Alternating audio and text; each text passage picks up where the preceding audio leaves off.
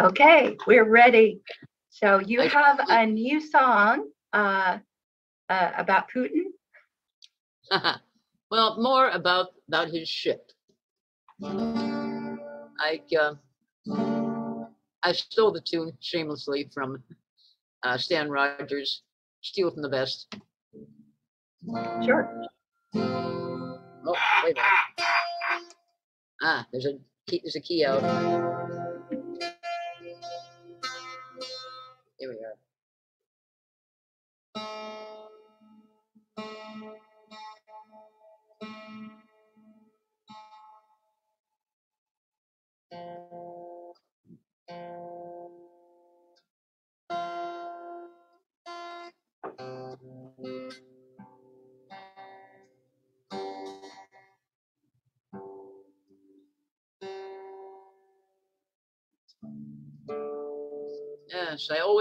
That Chinese classic.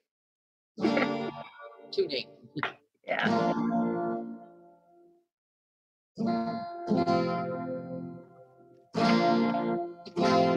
G ought to do. Actually, it's F for you, G for me. G for, G for me and E for you. What the hell? It sounds like the lyrics to the Siamese cat song. Meow. Anyway.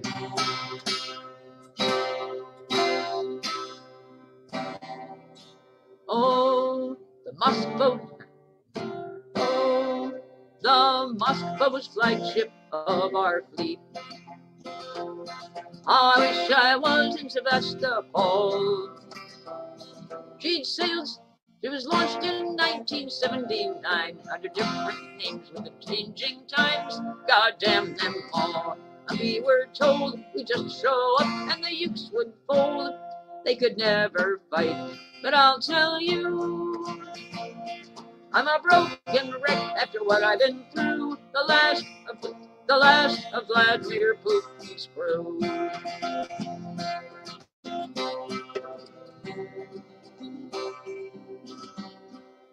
Oh, the Russian Navy searched its ranks. How I wish I was in Sevastopol. For a good 500 sailors who would make enough for the Moskva's crew. God damn them all. We were told we just show up and the Ukes would fold. We would never fight. But I'll tell you, now I'm a broken wreck honest. I'm a broken wreck after what I've been through the last of Vladimir Putin's crew. She needed that many just to sail. How I wish I was in Sevastopol. Her discipline was a savage shame. She should have kept her original name. God damn them all. We were told we just show up and the Ukes would fold. Oh, we they would never fight. But I'll tell you, I'm a broken wreck after what I've been through. The last of Vladimir Putin's crew.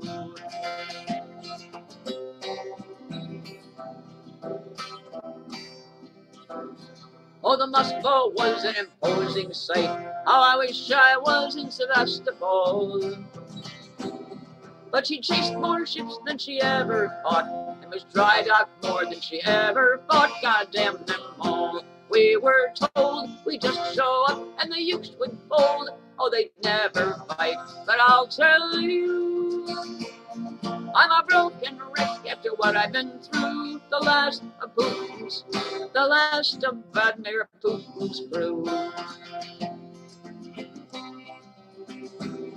She carried missiles a dozen and more. How I wish I was in Sevastopol.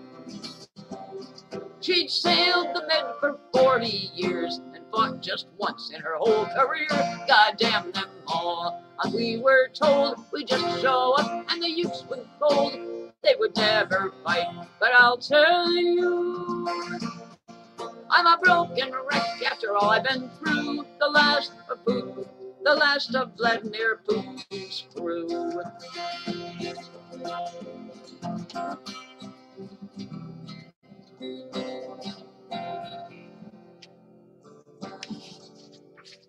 Okay.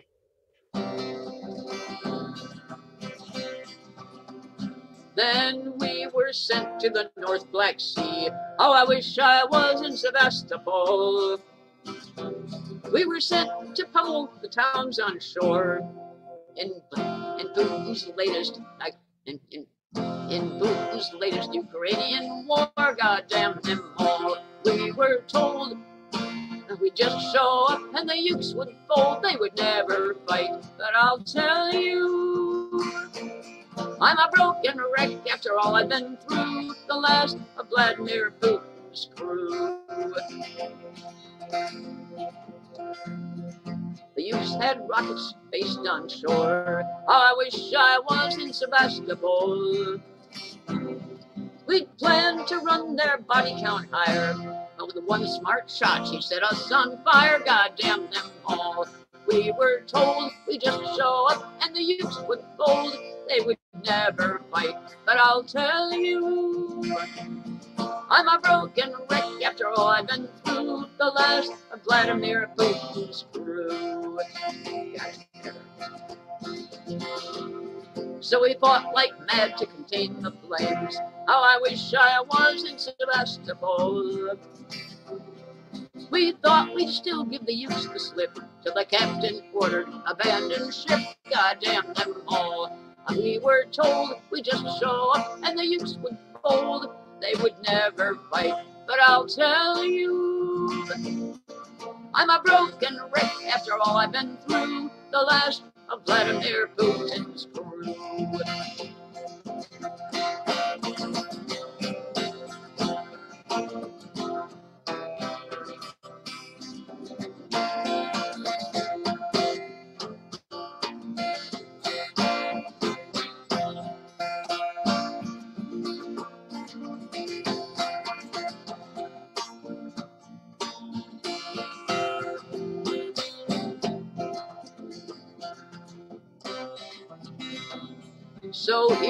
Sit on Snake Island now. How I wish I was in Sevastopol.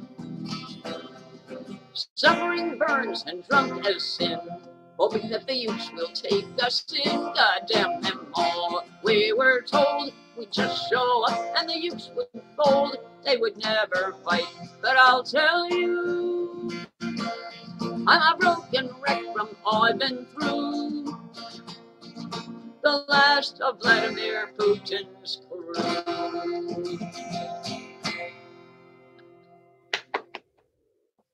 Nice, nice.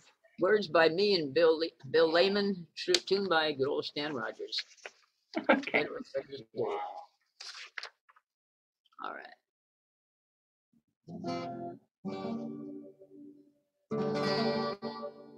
Out again.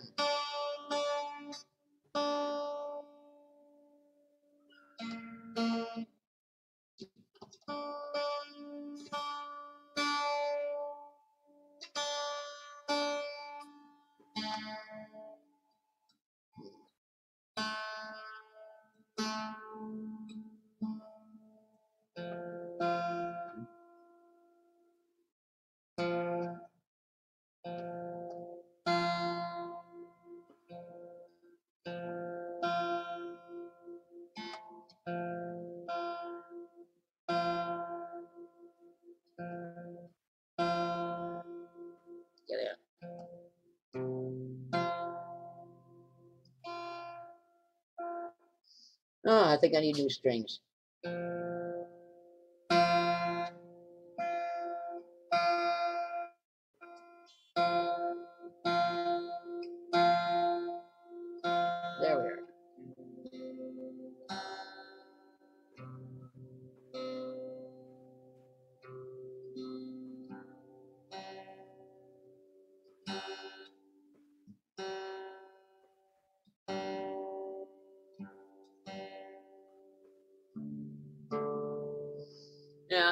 Strings. Anyway, these will hold tune for one more song. Do you want to introduce it or say something about how you? Okay, this is oh my words to uh, tune Tin Soldier by Julia Ecklar. And uh, I decided to take her song out of um, the mythical past, mm-hmm. move it up to the present a little quicker. I call it cheap weapons. Okay.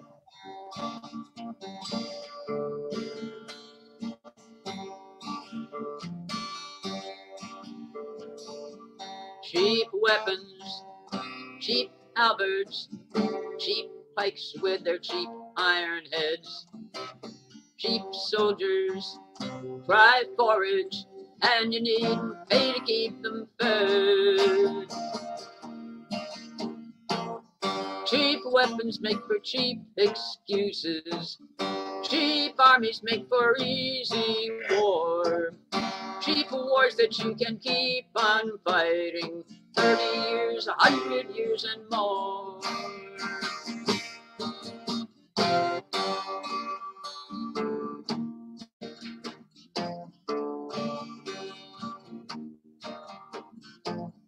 Gunpowder, brass cannons cost higher, but they win your war.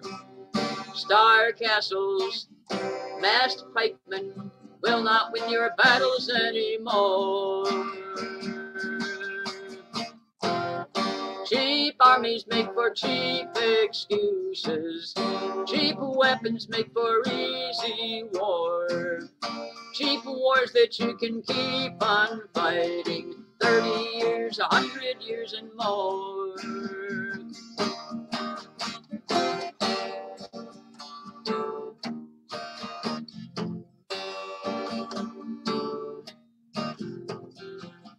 Smart missiles, beam weapons, 10,000 bucks for every shot.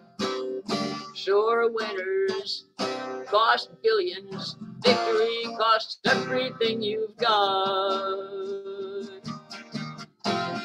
Cheap armies make for cheap excuses. Cheap weapons make for easy war. Cheap wars that you can keep on fighting 30 years, 100 years, and more.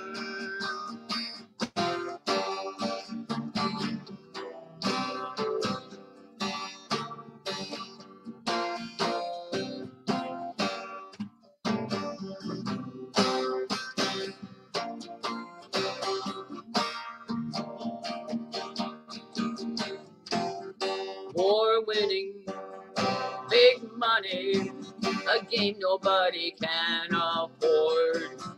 Cheap battles, no longer gone the way of halberd pike and sword.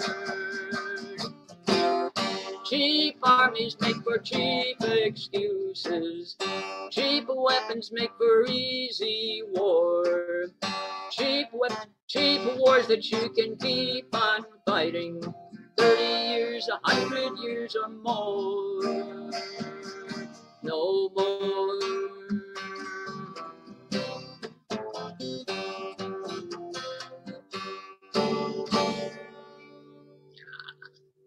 Stiff finger today. Okay. Yeah. I think though the best wars are the ones that are won pretty fast. so they're over.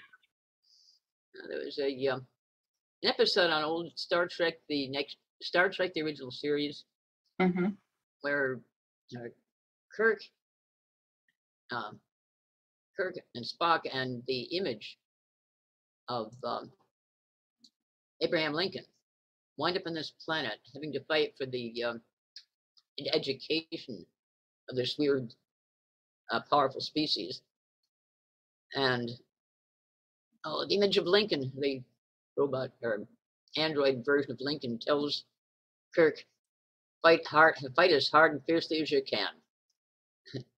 no mercy, be fast, be ruthless, get it over with. There is nothing good in war but its ending."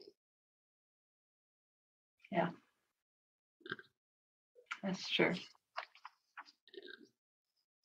Okay, but I'm, st- I'm still giggling over the Moskva. and oh, the latest I heard is that right now, um, Russia's big push against eastern um, eastern Ukraine is is going on. We don't haven't heard anything lately about how the battle is going. But with all the hardware that the Allies and um, the, ne- the neutrals have pumped into Ukraine, I'll be surprised if they don't. If, I'll be surprised if they lose. I, I had this one idea that one way Putin could get out of this with no more mud on his face, please God, is to, of course, he would do this in person, but have his ambassadors at the peace talks in Poland or Bioglass, wherever it is, um, uh, promise, uh, no, promise Zelenka, Zelensky. Can't even think of how to pronounce his name. So I'm okay, okay, we'll we'll we'll stop we'll stop fighting. I'll ground the troops. Um, let me were, weren't they already uh, in negotiations about just uh, where exactly the border was going to be? You know, Yeah. What he could do is say, look, let me save face and for my own people by carving off just a small slice of uh, Donbass. Uh, I'll, I'll take a chunk no more than 100 yards wide and a mile long, and uh, or or less, uh, no, no less than a, a 100 yards wide and a mile long. I'll even take a chunk that has no people on it. And in fact, I'll give you a, a, an equal-sized piece of Russia on the, your northern border that you can that you can take into Ukraine um, I mean, for compensation. Will that please you? I can yeah, I, I think they were already in the process of negotiating that, but somebody said they wanted them to keep fighting. You know, Adam, there's nobody, uh, nobody comes to the table and I think they can win. But, yeah, uh, sure. but the fun and games is land. Um, that's a slice of land on the north border of uh, Ukraine that uh, that Putin gives up is Chernobyl. What the hell? It'd make a great buffer zone. Nobody would want to cross it. well, I understand the animals there are very interesting. Yeah, they've adapted. Yeah, I can see the uh, scientists wanting to study them, but I don't see anyone wanting to stay there very long. Yeah, I understand. During the earlier battle over Kiev, um, whoever the hell was commanding the Russian troops moving north of Kiev made the mistake of uh, camping them down, bivouacking in what's called the, uh, I think it's called what, the Pale Forest. It's the forest just outside of uh, Chernobyl. And when they woke up in the morning, they set off the rad counters. oh my gosh. So there's a whole, uh, several platoons right there, taken out of the battle, probably out of out of duty forevermore, because they slept in the wrong spot. Yeah. Yeah, that's that's even worse than stepping on a uh, landmine, I guess. Uh, well, landlord will either kill you outright, Right. tear off chunks you can you can manage to without. Uh, not easily, but you can. Radiation, sorry, that's Yeah. it. You're gonna get cancer sooner or later, probably sooner, and that's the end of you. Yeah. So, if Zelensky would agree to take Chernobyl and let uh, uh, let Putin take a slice of Donbas, uh, I have no idea what the land there is like, but uh, that would put an end to it. And then, uh, Well, I just hope uh, there is an end to it very soon. yeah. You know, what Putin needs is to go home looking good to his own people because he's really, he, after stepping in this big a bear trap, he's got to cover his ass somehow. Yeah. And you know what totalitarian leaders are like. I mean, the fact that he's making ridiculous accusations and threatening to throw nukes around shows he's desperate. Yeah. Well, let's hope we can keep the nukes at bay. we don't Yeah, really need that. Yeah, even his his personal hero Stalin, in his craziest, had better sense than, than, to- than to throw nukes around. Well, did he have any? Yeah, yeah, he got them right after World War II. uh, Mm. Because of a, uh, oh, the American, the, the FBI. Edgar Hoover burned, blamed an innocent couple called the Rosenbergs for having sold America's nuclear secrets to the Russians. There was no, there was really no secret to sit to sell except the prob, the engineering problem of holding the critical mass to get mass together long enough to uh, for the process to finish. So that was a simple engineering problem. They they uh, were planning to do it, they solved it with using explosive charge to hold it. Just exactly, they over exactly how much.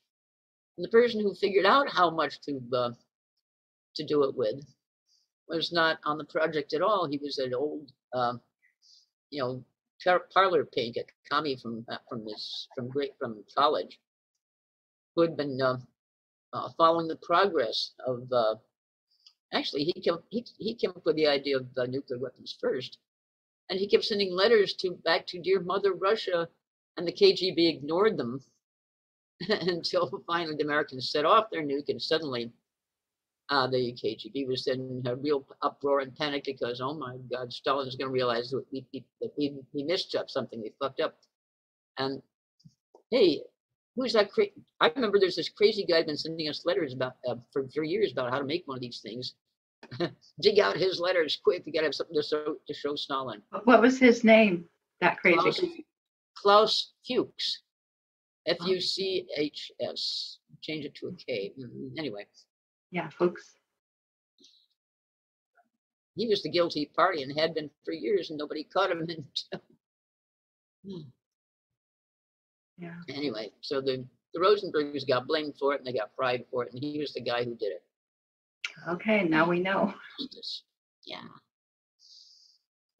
Sad little tales from history. Anyway, um, like I say, I don't know the tune to that song of Julia's, and they're your words anyway. You were Yeah, saying- yeah. You saying, I can't. that's that's my problem. you can't, you can't. When did they ever stop a filker? Come on. Uh, well, yeah. When you are, I, I I'm not actually tone deaf in terms of hearing other people, but I'm kind of um, tone uh, mute. I guess that's what it would be. Tone mute. Can't produce it. That's okay. Listen to it to get a rough idea what the tune's like. Then you play around with your ukulele. That's how I do it. Okay, that's Katrina. That's Katrina. That's not me. Oh, sorry. I know she she's got the ukuleles.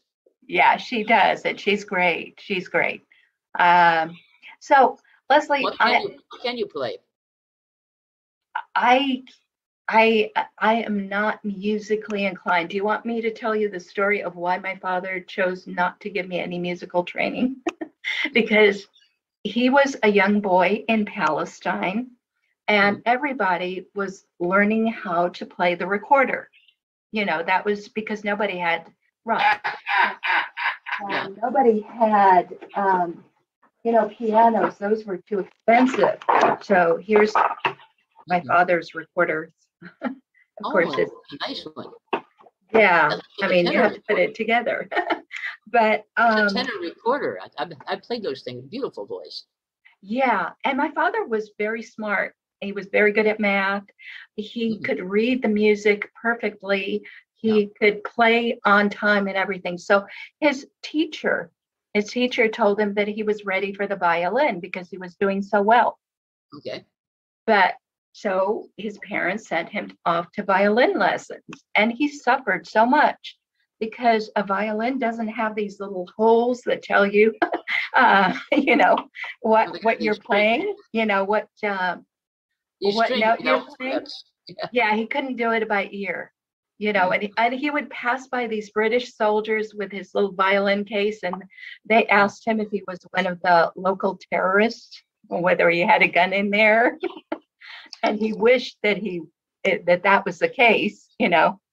Uh, but um, so when he saw that I couldn't carry a tune when I was little, he decided he was not going to put me through what he went through. So I didn't get any musical training at all. That's okay. You can pick it up from filk singing. Look, you Well, got I- you got a lovely, you got a beautiful tenor recorder there. I can see it. Why don't you Yeah. Put it together and play with it. You think I should at Yeah. this at this late date? Yeah. Okay. Yeah. The recorder is uh, has a lovely voice and it's easy to play. And if you can't, it has the advantage that you can't sing while you're playing it, but it will help. But it will help you learn songs and put songs together. And then you can hand the, then when you want to sing, you can hand the recorder to somebody else to play and you sing along with it. Okay, well, that's a plan. Okay, uh, you know, when we're recording, uh, we can't record all night because it's um, on my computer and there's limited space. But let me ask you this, are you available this Friday? Because we could do it live. We could have another folk sing. This Friday? Yeah, this Friday at eight forty-five Missouri time, which might be around six forty-five your time. I'm gonna have to change my strings. So let me check my, yeah, let me check. My calendar.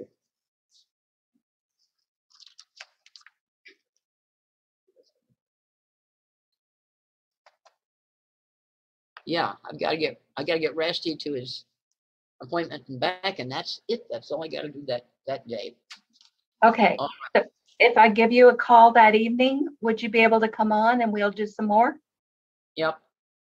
And uh, call me the night before, just remind me anyway. You know how I am with time. Okay, but we've got this in the can, uh, so I'll let you go. And I'll definitely play this, um, if we're not able to have a live filk sing. Okay. All right, good night. Hi. I'm here.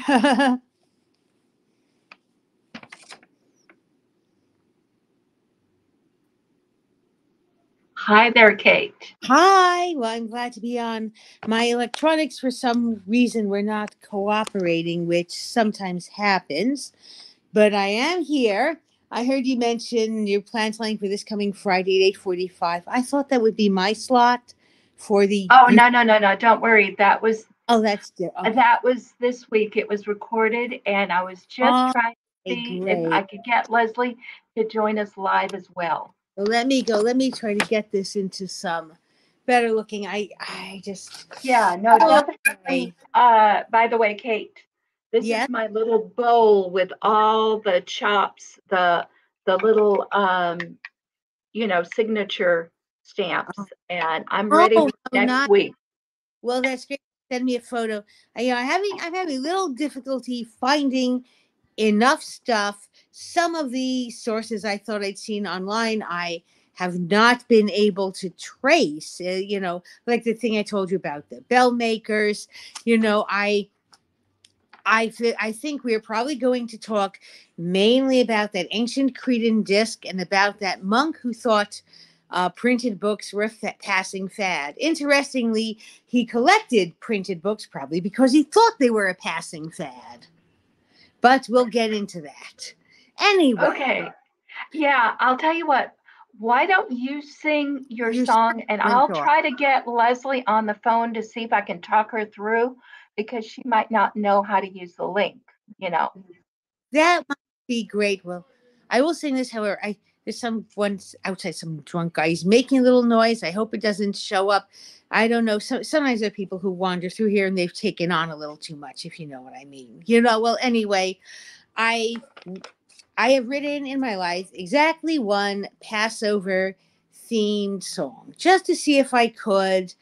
I, you know, I will say that there are people who liked it, but you know, they didn't they didn't know that they wanted to sing it. It's like they didn't think there was anything wrong with it. It's just it was one of these things where they thought it was good, but it just they just thought it didn't hit the spot for them. Like when would they sing it? During the Seder to interrupt it? They they didn't think so. But maybe you'll like it.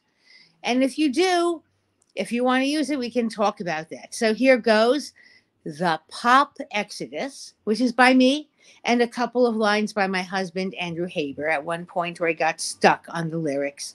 I asked him if he wanted to be on and sing, but he did not. He does not really enjoy that. But let's go. Long, long ago, in a faraway land where people were treated like so much sand, the king of Egypt was a real jerk, imposing an impossible load of work. 10, 40, 50, or 200 or more disasters, depending upon who's keeping score. Centuries waiting for liberty, and now's the moment we can all get free. A prince of Egypt who was born a slave learned his past, and he started to misbehave. Killed a slave driver, and he fled from the strife. Then 40 years later, a voice changed his life. 10, 40, 50, or 200 or more disasters, depending upon who's keeping score. Centuries waiting for liberty, and now's the moment we can all get free. Go back to Egypt, get my people free. No, no, don't get give this job to me. I can barely talk, I sound like a jerk. This freedom notion can't work. 10, 40, 50, or 200 or more disasters, depending upon who's keeping score. Centuries waiting for liberty, and now's the moment we can all get free. He didn't want to do it, but he'd give it a try. The voice assured him that he could get by. So back to Egypt to begin the quest. The voice gave him help but would not let him rest. 10, 40, 50, or 200 or more disasters, depending upon who's keeping score. Centuries waiting for liberty, and now's the moment we can all get free. He said to the king, Let my people go, or you'll have suffering, plagues, and woe like you wouldn't believe until you agree to let the Israelites get out free. 10, 40, 50, or 200 or more disasters, depending upon who's keeping score. Centuries waiting for liberty, and now's the moment we can all get free. Then he told us how to prepare and wait. We'll all move together on a certain date. Take what you can, better fill up a sack finish your lamb cause we're not coming back. 10 40 50 or 200 or more disasters depending upon who's keeping score. Centuries waiting for liberty and now's the moment we can all get free. Have your shoes on your feet your staff in your hand.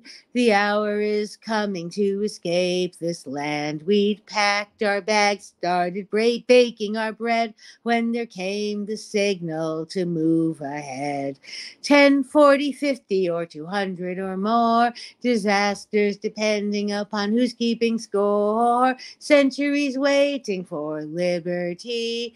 And now's the moment we can all get free. Couldn't wait around for the bread to rise. So we carried the dough, no time for goodbyes. Marching out by the light of a big full moon, our bread was flat, but our hearts were in tune. Ten, forty, fifty, or 200 or more disasters, depending upon who's keeping score. Centuries waiting for liberty, and now's the moment we can all get free. We reached the sea but we stopped right there with no boats. We couldn't go anywhere. Did you take us out here to die? We quipped because there weren't any graves in Egypt. 10, 40, 50, or 200 or more disasters, depending upon who's keeping score. Centuries waiting for liberty, and now's the moment we can all get free. In jumped Nachshon, then the waters parted, the sea rolled back to where it started. The waters drowned Egypt's cavalry power. We sang and danced, they were dead in an hour. Ten, forty, fifty, or 200 or more disasters, depending upon who's keeping score. Centuries waiting for liberty, and now's the moment we can all get free. And ever since then, at Pesach time, in story and symbol, in song and rhyme, we tell our escape and remember the night of Egypt's loss and the Israelites' flight. 10, 40, 50, or 200 or more disasters, depending upon who's keeping score. Centuries waiting for liberty. And now's the moment we can all get free. Beautiful. You like it. Some of the non Jewish listeners, Christians and such, may wonder why there is stuff here that's not in the Bible. Well, in Jewish tradition, not everything that we say about Passover got into the Bible.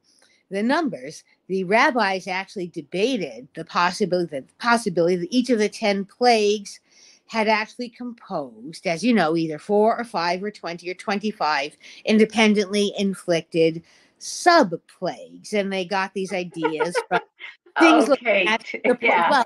well, I, I should explain this. We have probably listeners who wonder, like, come on, where's that from? Well, for instance, at one point in the narratives, the Egyptian magicians saw the plagues happening and said, This is the finger of God. And then later on, we see the expression of one of the hand of God, obviously five times as much. And the, and the bit about, according to Midrash, namely Jewish tales about the events, which you could almost call Bible fanfic, the sea didn't Yeah. split until sometime after the Hebrews waded in all the way, water up to the nose, and one man, Nachshon ben Aminadav, kept going, jumped forward, and then the miracle occurred. Okay. So, Yeah, we're, we're not we're not actually sure whether any of this actually sure. happened. You know Uh, that this very non supernatural. All I said was that someone heard a voice. I did not say it was God. You know, if you think it was God, say it. If you don't think it was God, say that. You know, I'm trying to, you know, you can. No, no, no. We don't. We don't actually. I mean, even the things that are in the book Right. are.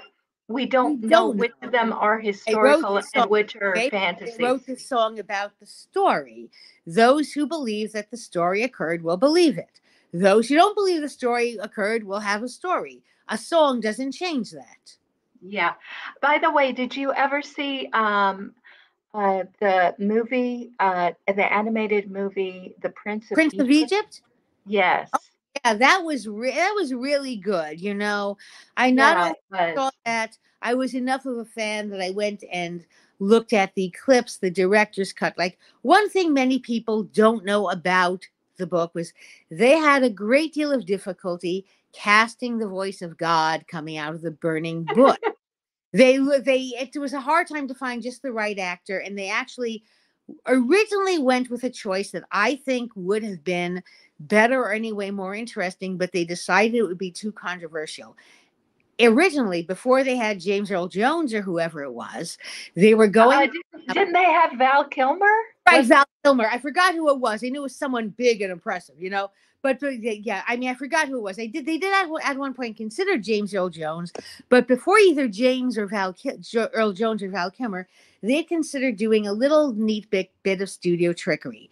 They had considered that when the voice came from the bur- burning bush, presumably God, you know, God's voice, that every word uttered would be a word that had been uttered by a different character up to that point.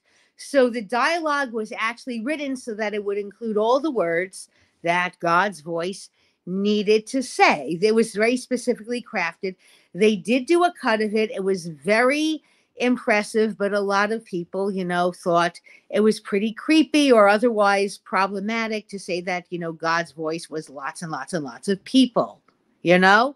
But mm-hmm. they, but there is floating out there somewhere. I'm not sure if it's on YouTube or what, but at one point, someone leaked a tape of what it was going to have been before they said, you know, no, we'll we'll get this is great, this is amazing. And if you listen to it, it's very creepily awesome because you would hear this in the voices of every different, you know, Aaron and Moses' mother and the Pharaoh, eh, you know, one word from every person's voice, and you would recognize the voice.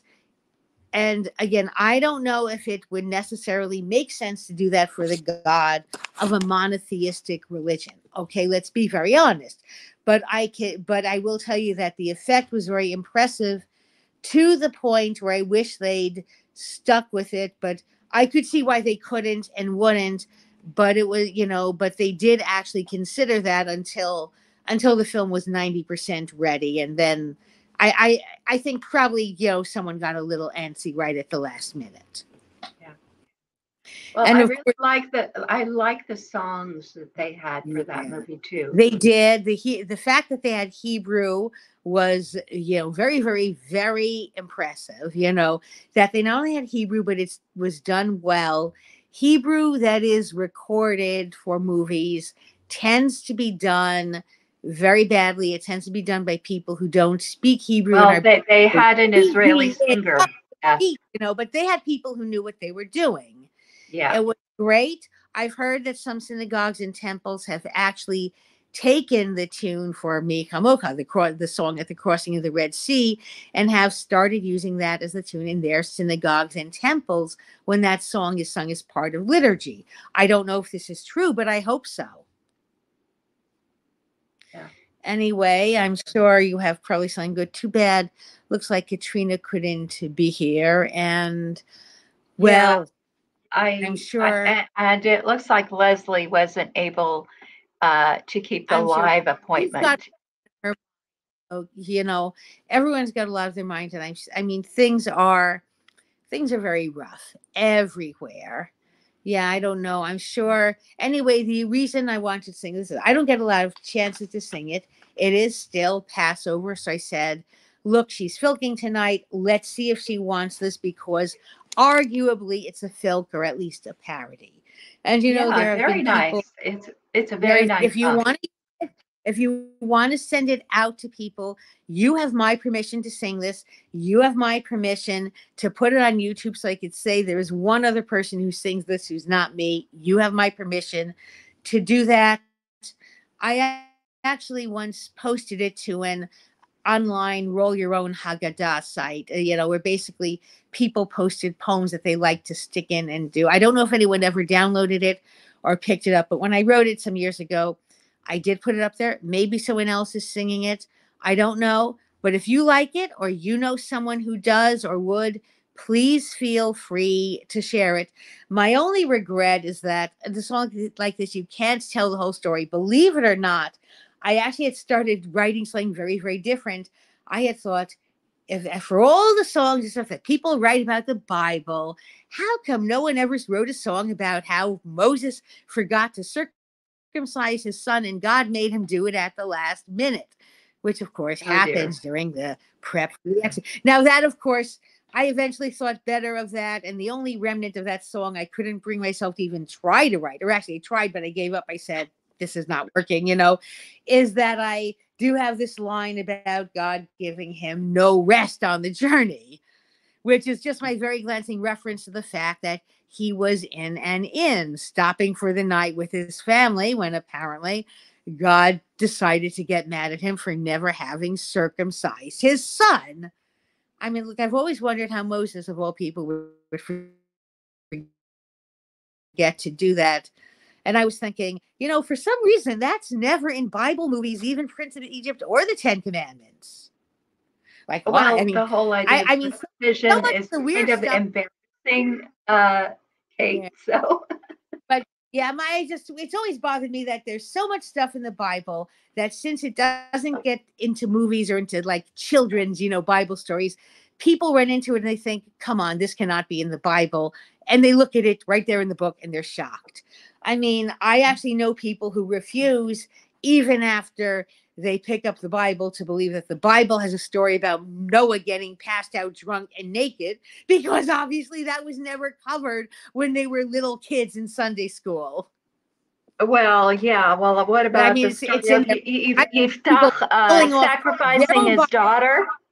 You know, Yeah, yeah, or Jephthah. Actually, that one is slightly known because things with sacrifice sort of get to be known among Christians of certain sects because the more hardcore Christians can basically say, well, this is a prefiguration of the ultimate human sacrifice. and of course, no, no. This is this is sacrificing not- your daughter. But you're You know, it's just like uh, that's another thing. I mean, I mean, there's there's stuff.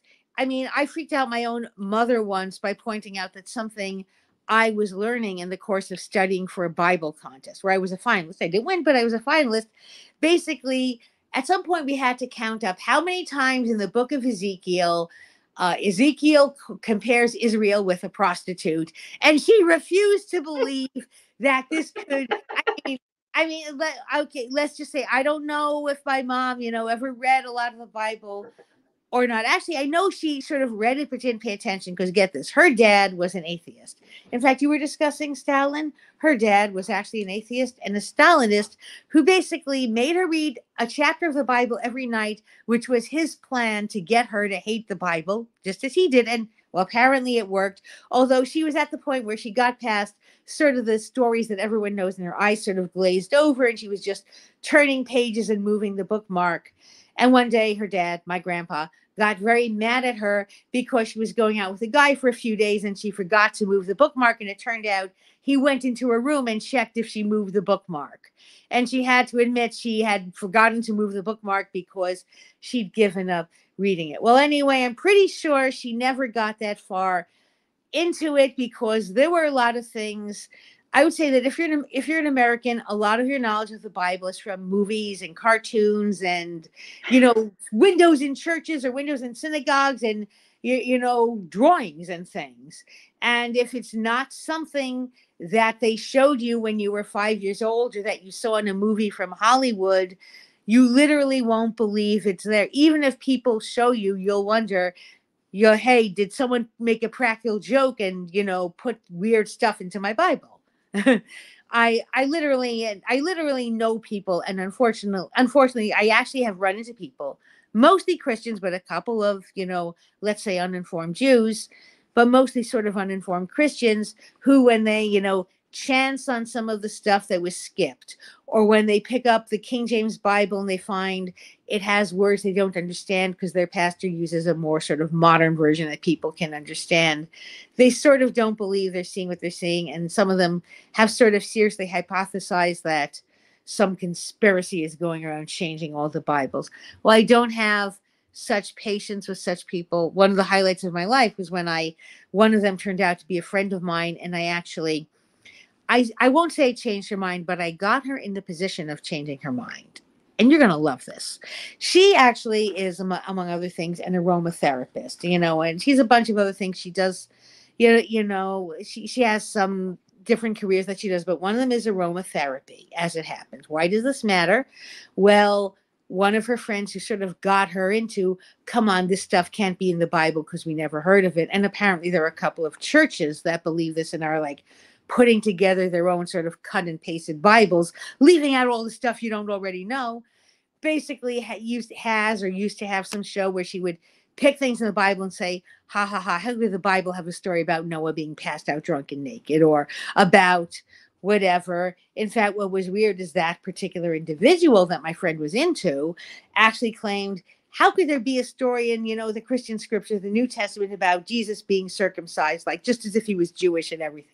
Gross. Well anyway i would talk to my friend. I'd say uh, you know come on. You think that how you know how would you know anyone you know even a supernatural power change you know billions of printed bibles all over the world? I mean not never mind the internet but you know how would they go like back through time? But that's what they did. Well anyway one day she was listening to her friend on YouTube, and I will not dignify that friend of a friend, former friend of a friend, I must now say, by giving the name of that channel because it's just ridiculous, saying, Oh God, here's my weekly list of stupid things that are that you'll find in the Bible that can't possibly be for real. And she said, Who? There's a stupid word there, spikenard. Like it says you make an incense recipe and it's got spike. I mean, you even heard such a word. It's obviously a made-up word. Well, my friend's an aromatherapist, and one of the things she makes involves spikenard, which, if you don't know what it is, it's really expensive, but it has this amazing, amazing, delicious smell tiny amounts of it are used in different perfumes and cosmetics but she you know, when she can get it, she uses a whole bunch of it because I think she has to wait for a sale or something because that stuff really costs. But anyway, you know, she's worked with this her whole adult life, so she knows it's real. So basically, that was it, you know. it took you know it you know after i tried for like two years to convince her her please have some sense you know you really believe that bibles have been changed when you aren't looking so what didn't so what convinced her wasn't even two years of you know work it was six minutes it was like six seconds of someone talking about a flower and saying that flower wasn't real but i mean it's amazing how many people will totally say that they believe in, I mean, the Bible or whatever, or the scriptures of whatever religion. I mean, I know this sometimes happens with other beliefs and religions. I've mostly seen it, you know, you know, with Jews and Christians, but most of the people I know are Jews and Christians. And it's just amazing that people who will say that we believe totally every word of this, they don't know what's in there. And when you, you know, take their own Bible off their shelf and show them or their own, you know, whatever, and you say, you know, and you point to say, could you please read this aloud? it's like they never saw this, but they've sworn all their life they believed in this stuff they didn't even know was there.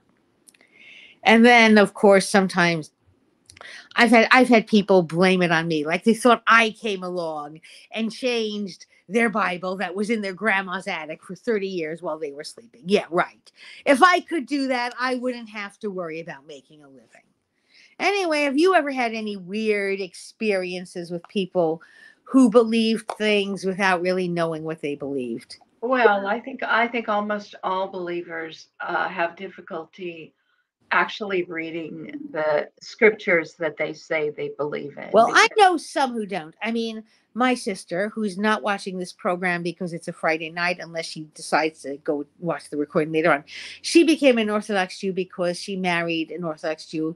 And I would say that she and he actually take it seriously. I don't mean they're crazies, I don't mean they're fanatics, but you know, if they see that something is in their scripture, they try to deal with it in some way, you know, you know, you know, even if they have to face that they don't like it, or even if they end up saying, I personally disagree, or I think that doesn't, you know, it count at present because things are changed or whatever, you know, and they can be very reasonable about this, you know, but they've never said that can't be in there, you know. They've certainly never said after they looked, you know. And I would say they both they both know pretty well what's in there you know he knows maybe better than she knows because he you know grew up as an orthodox jew but i would say i have met some who take things seriously you know whether they believe them or not they're just not you know they're just not making it up and they're not saying i don't like it so it didn't ha- it's not it's not there. Nobody the, there's a difference between saying oh i don't believe that way and here's why and saying i don't think this even exists. I don't think anyone ever I, I know, but I mean, there are a lot of inconsistencies be, uh, between the I books because yeah I, I mean, even the grammar changes. If you look at it, Yeah, let's of ways of dealing with it. I, you know, I'll respect whatever they do as long as they don't pretend that what they're looking at doesn't exist. If they Right. have, you know, I don't go and I don't push them too hard on this because I'd a million times, you know, rather have them try to deal with it in their own way than just be the kind of person who's like, la la la, I don't see this, I don't hear this, la la la la la, you know? Mhm. as long as they're not that, I can live with them, you know? Not they live with them, but you know what I mean. I mean, I was visiting them, my husband and I, last week for Passover, and we had a great time, you know? And I Mhm. will, you know, and I will tell you, they, you know, they did not, they did not make it awful. They are not going to, I don't know, excommunicate you if you don't believe or, or any of that. Okay. They're not. Okay. uh, how, d- how did your parents deal with the fact that uh, they ended up with a daughter who was uh, Orthodox? Uh, was that hard? I I don't know. I know that there was a lot of shouting. I know there was a lot of argument, and they they were sort of expecting what happened because I had tried to be orthodox for a while. I had given it up. I think shortly after my sister basically married this very nice orthodox man, basically so, she'd have a reason to leave home. I did not have anyone in my life, and I would in any way i would not i don't think it, it would not have been like me to do this i you know i did leave home obviously eventually but I, I married when i was 30 she married when she was well, I forget how young she she was much much younger. Don't worry, she was certainly of mature, you know, adult legal age. Well, what it was was I will tell you that they made fun of her a lot, often in public, which they had done to me. I mean, even before I had tried being Orthodox, even when I was merely learning about this at a school that, mind you, they had picked to send me and her to, I, I, I do not know. I have to tell you, I have you know, I don't want to say everything that I might because my mother, who's still alive, she might decide to listen in. And since she eventually found her own sort of peace with this, partly after she moved in with my sister because my sister has a lovely big house with a lot of room for an extra apartment where you know mom could be you know mom my mom could be around be with her grandchildren whom she adores and basically not have to do everything on her own you know i mean mom That's very nice. That's very nice. competent, but she is also, you know, quite elderly, and you know, you know, there are things you can't do on your own after a certain time. I suppose, you know, I, I suppose. Well, mom eventually became reconciled to it because when I think because when she was finally living with some orthodox with a couple of orthodox people who have orthodox friends neighbors who are you know always coming by she had to admit oh this is real they really do this this really does exist. Now she had tried to tell me and when i was a kid and i believe she'd also tried to tell lisa oh nobody does this and nobody ever did you know uh, there's a story you know you pretend you do it there's a story that you say but no one would ever have done it or i never heard about it. Like you know there would be times when she would you know ask what i had been studying during bat mitzvah preparation or earlier when she was actually sending me to this hebrew day school that she had very odd reasons for sending me to i think. And she would say well what did you study in the torah today? And i would say well today was a whole lot of stuff about you don't eat certain animals or about how the priest you know collected 10% of the income from the population. She'd say oh come on that can't be there. Yeah i mean that's some kind of christian thing that those rip-off televangelists who make money made up. That wouldn't be ours. And i'd say but it's here mommy. It's uh, right in the book. Would you like to and she would not you know? And sometimes i would leave things out like you know my hebrew homework those portions that were in english or leave a bible open or and maybe even leave a note a carefully written note so it could be legible. You told me it's not here and it's here can i ask you about this? And she would get, just get very very angry you know? And let's just say that she wishes now that she had not done it but she she wishes that i would somehow snap out of it i was should, somehow be as if this had never happened. Because she is sorry now and she thinks somehow that goes and pushes a great big undo button on you know 50 some odd years of someone's life Uh, you know what? If you got her to say that she was sorry, she that was is sorry and very, she does not yeah. do this to people she would have a daily opportunity to do it to people now and she never does she's very that's good. That's important, you know. wonderful. That is So, wonderful. I will, yeah, I would say, okay, I'm glad that she, I'm glad that she is sorry. She does think I, I suppose that I'm not where I should be. In other words, you know, why can't you get over this? It was done to you when you were so young. Granted, for, you know, I, I will tell you that I, well, her reason for sending it me there was she had to find a private school that would take me because she knew the local public schools that I could have that I would otherwise have been in were like hellholes and I really would not have survived. She's probably correct.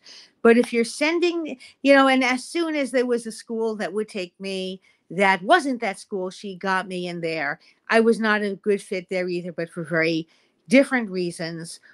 Also, but I would only say that if for whatever reason you send someone to a school, whether it's because you're choosing to or it's the only one around, you think it's the only one that would work for your kid, I think you have some kind of responsibility to inform yourself about what the school does, to know at least as much about it as your kid is going to have to learn.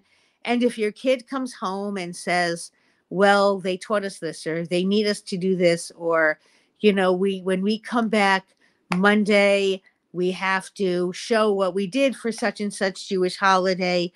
You know, you, you know, if, if you're assigned to do something with your family and your family picked that school that they sent you to get that assignment, you can't then say, you know, do this on your own. We won't help you with it you know you're we forbid you to do this assignment we won't make it possible but you've still got to get a's including in the subjects that we will scream at you for those subjects being on your report card.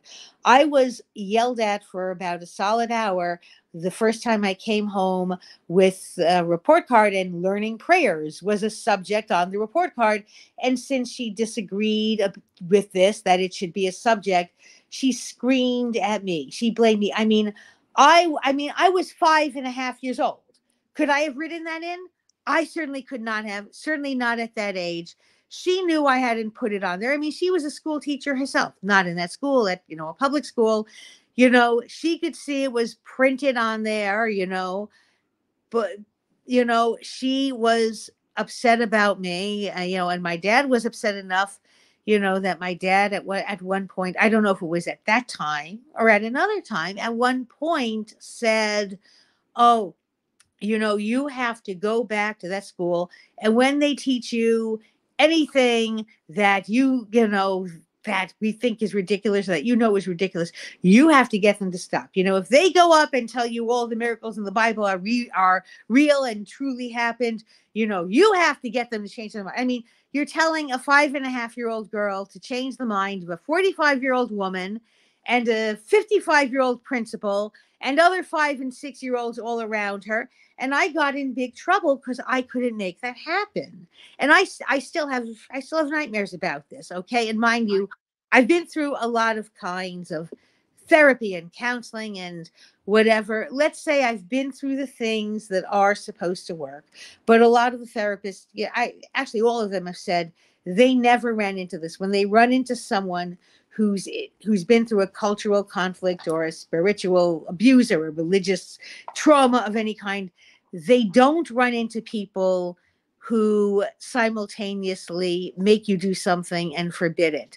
You know, they run into people like someone who grows up in a cult or in a very strict religion and then they encounter things outside that, but they don't run into anyone, any situation where the parents don't support what you're making, they're making you learn, but then you're not allowed to leave it either because you're not Okay, you, you know, I think, I think it does is- happen, uh, with Jews, and it's because Mhm. Jews use their Mhm. religion to create a kind of apartheid between themselves and other people. So a lot of times they want the child to somehow belong to the religion, but at the same time, they don't actually believe in it. And that creates that conflict. say it wasn't so much that they wanted me to belong. They didn't want me to be a part. They were very desperate that I should have friends, you know, from all backgrounds. And they were, and their emphasis had been more that, you know, they that they had to be 200% American, if you know what I mean. But every so often, one thing would pop up and they would totally insist that there would be some folk tradition that I should totally do, even if it was just a little fragment of something. The best way I know to compare it to, with is not, I would not necessarily say that it was an apartheid situation because they were very upset if I seemed to identify in any way with being Jewish, but they were Well, well, yeah, but I mean, did, I did I tell you the story from my family where Mhm. something like that happened? Not to me me. or, Let's okay, you know. so- okay. uh, th- th- this is a story about um, an uncle of my grandmother. Okay, um, he had two children, a daughter and a son.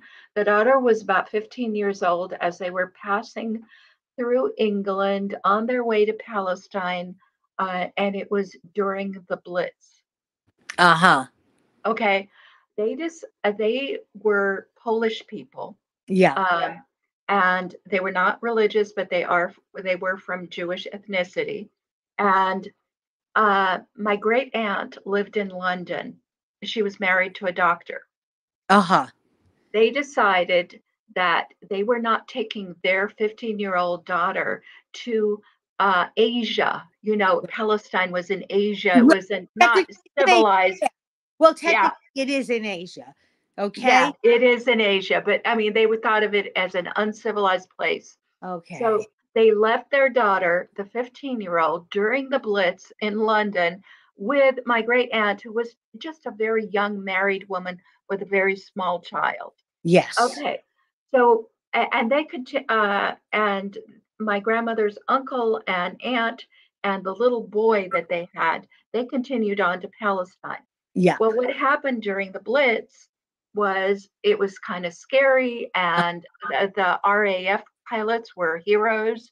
And so this 15 year old girl went and had a romance with an RAF pilot, and they, Uh-huh. they got married. They got permission from my great aunt. You know, she was only 15, she got married Right. uh, to a non-Jew. Okay. Right. Okay.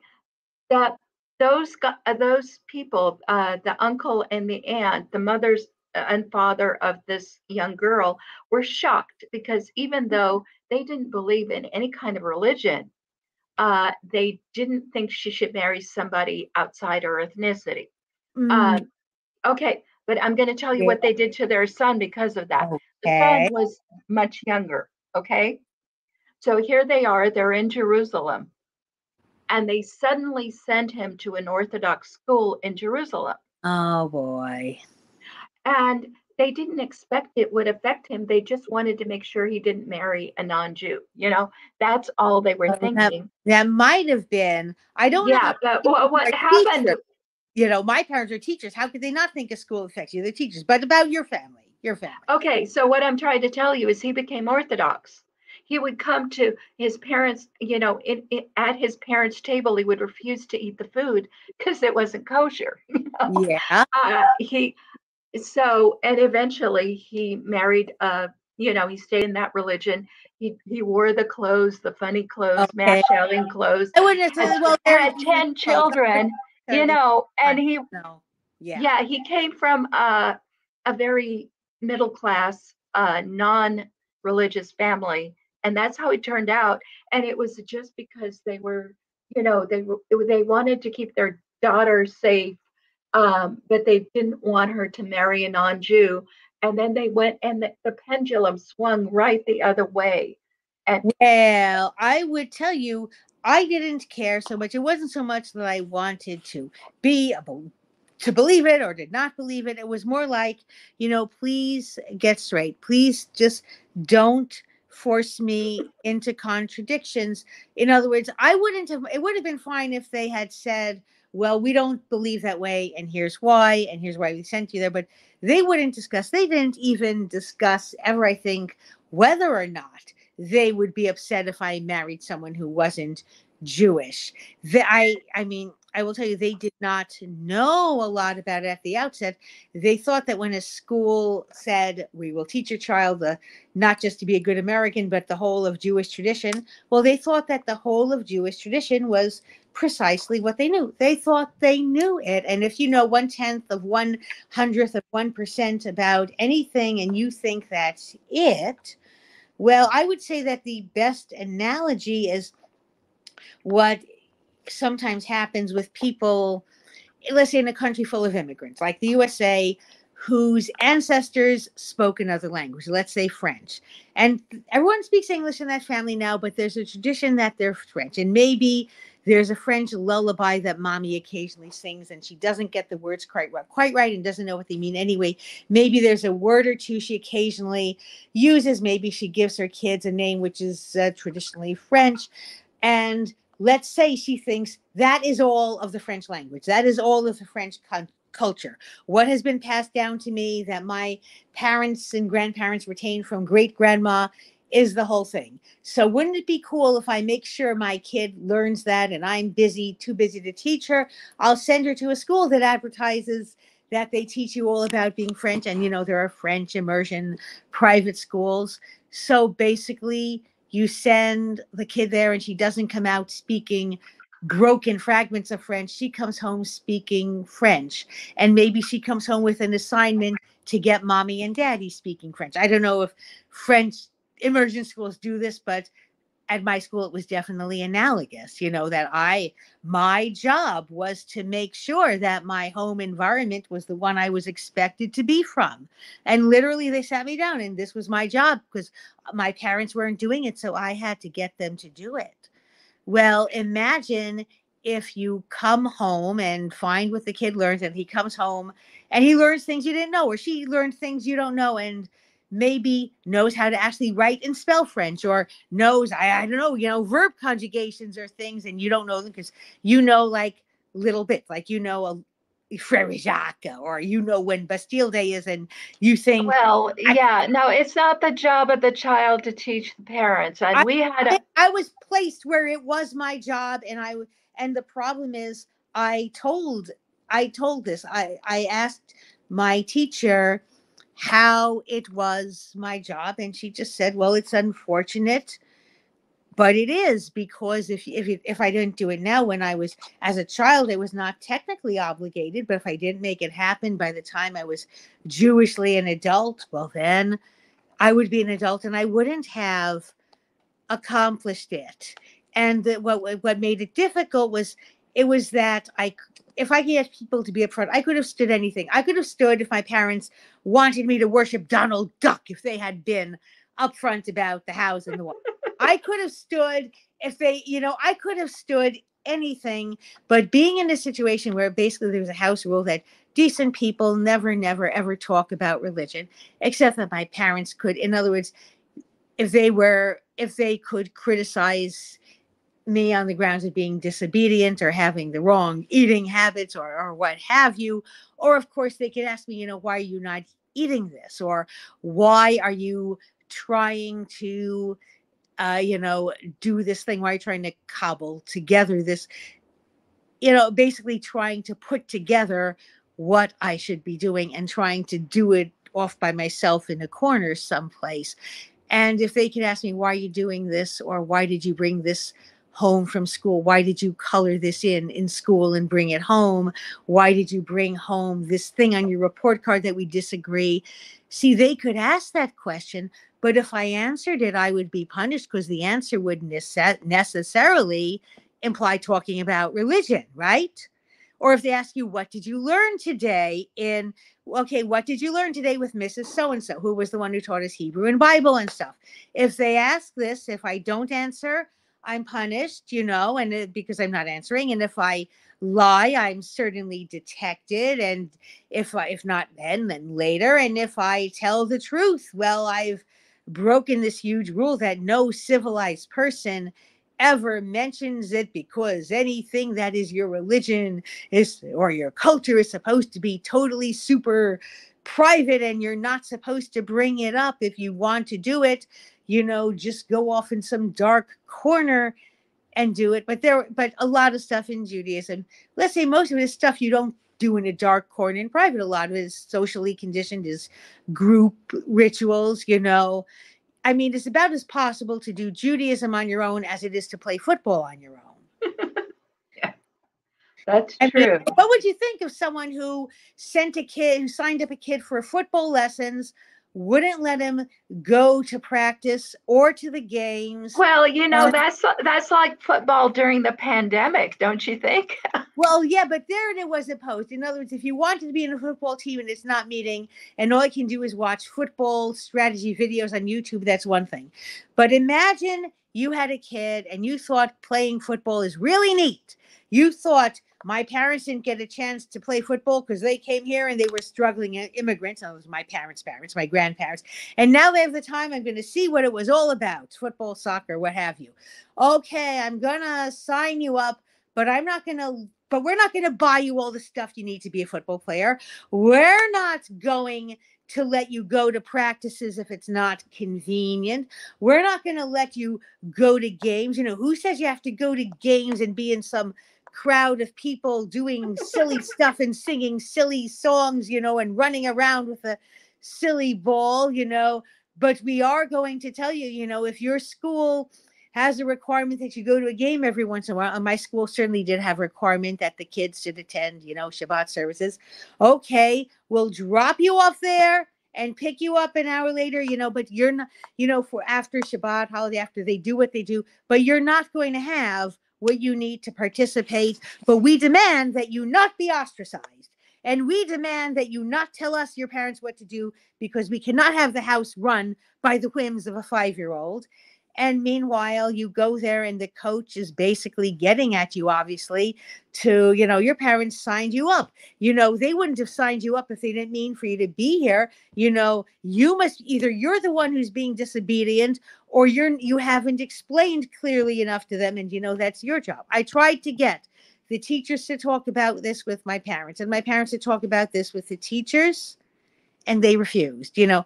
They would talk about anything else you know regular school problems you know bad grades or you know something but not if the bad grades were from this and you know they wouldn't uh, they just didn't think it was real because they thought it, if it was real they would have heard about it you know never mind that their parents had basically come to america and rejected a whole bunch of this stuff. If not then you know later you know they you know my parent my parents parents might have been more like the people you describe but my parents basically there's a level you know there's a level where you don't know and i have to say i was hoping we would look we should have been singing rather than doing this. I will tell you i've tried to write songs about this but they have never ever come out right. In fact when i was trying years ago to write a song about something like this I was interrupted about five or six times. It was a, t- a telemarketer, actually the same one calling back.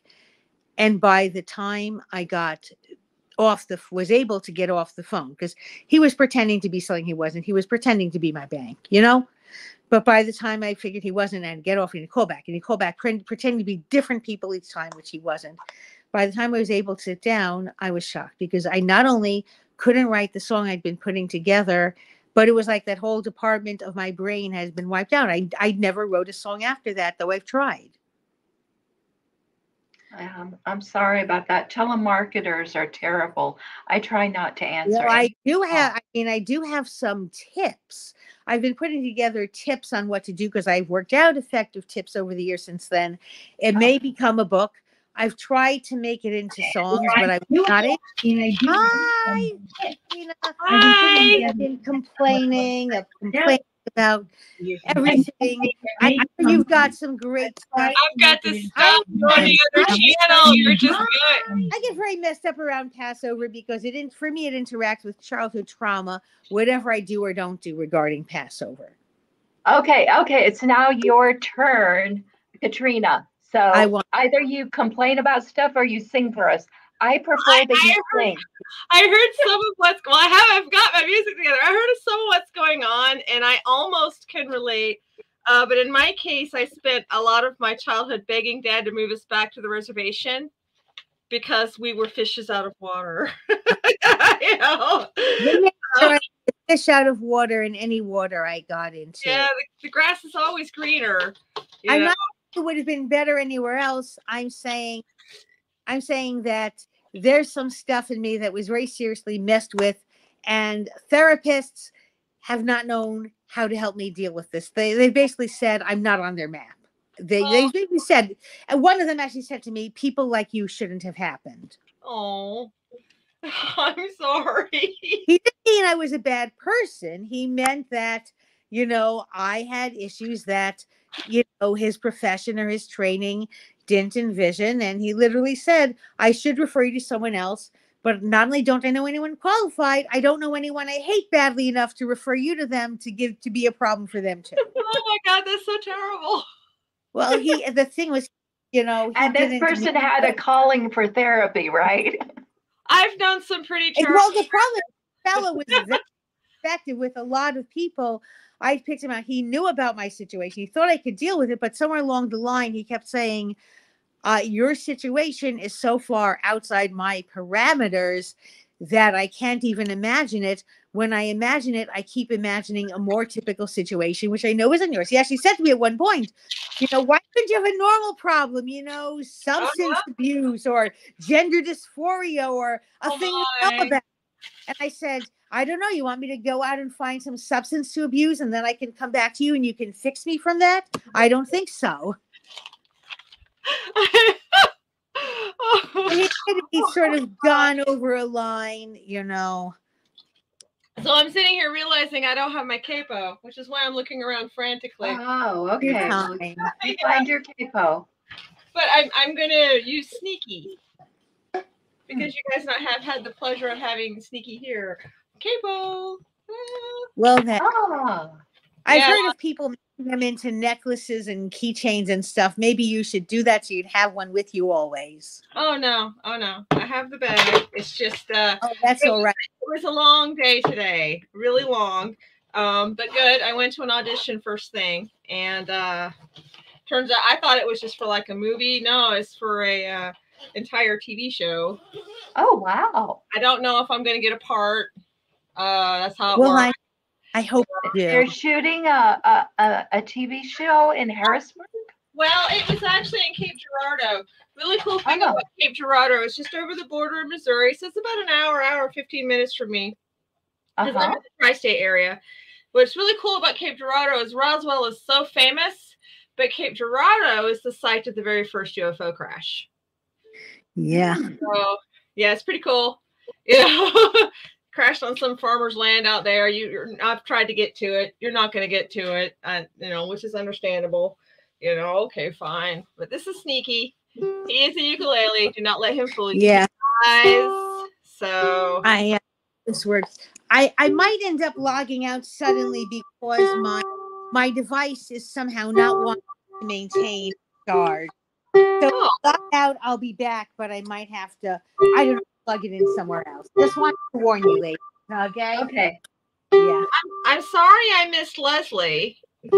Oh yeah. Well, uh, I was right hoping that the- she would arrive live as well, but um, it's it's complicated.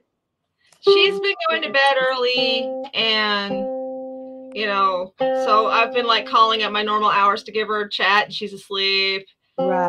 you know uh, her her schedule has definitely went through a shift Definitely gone through a shift. Uh-huh.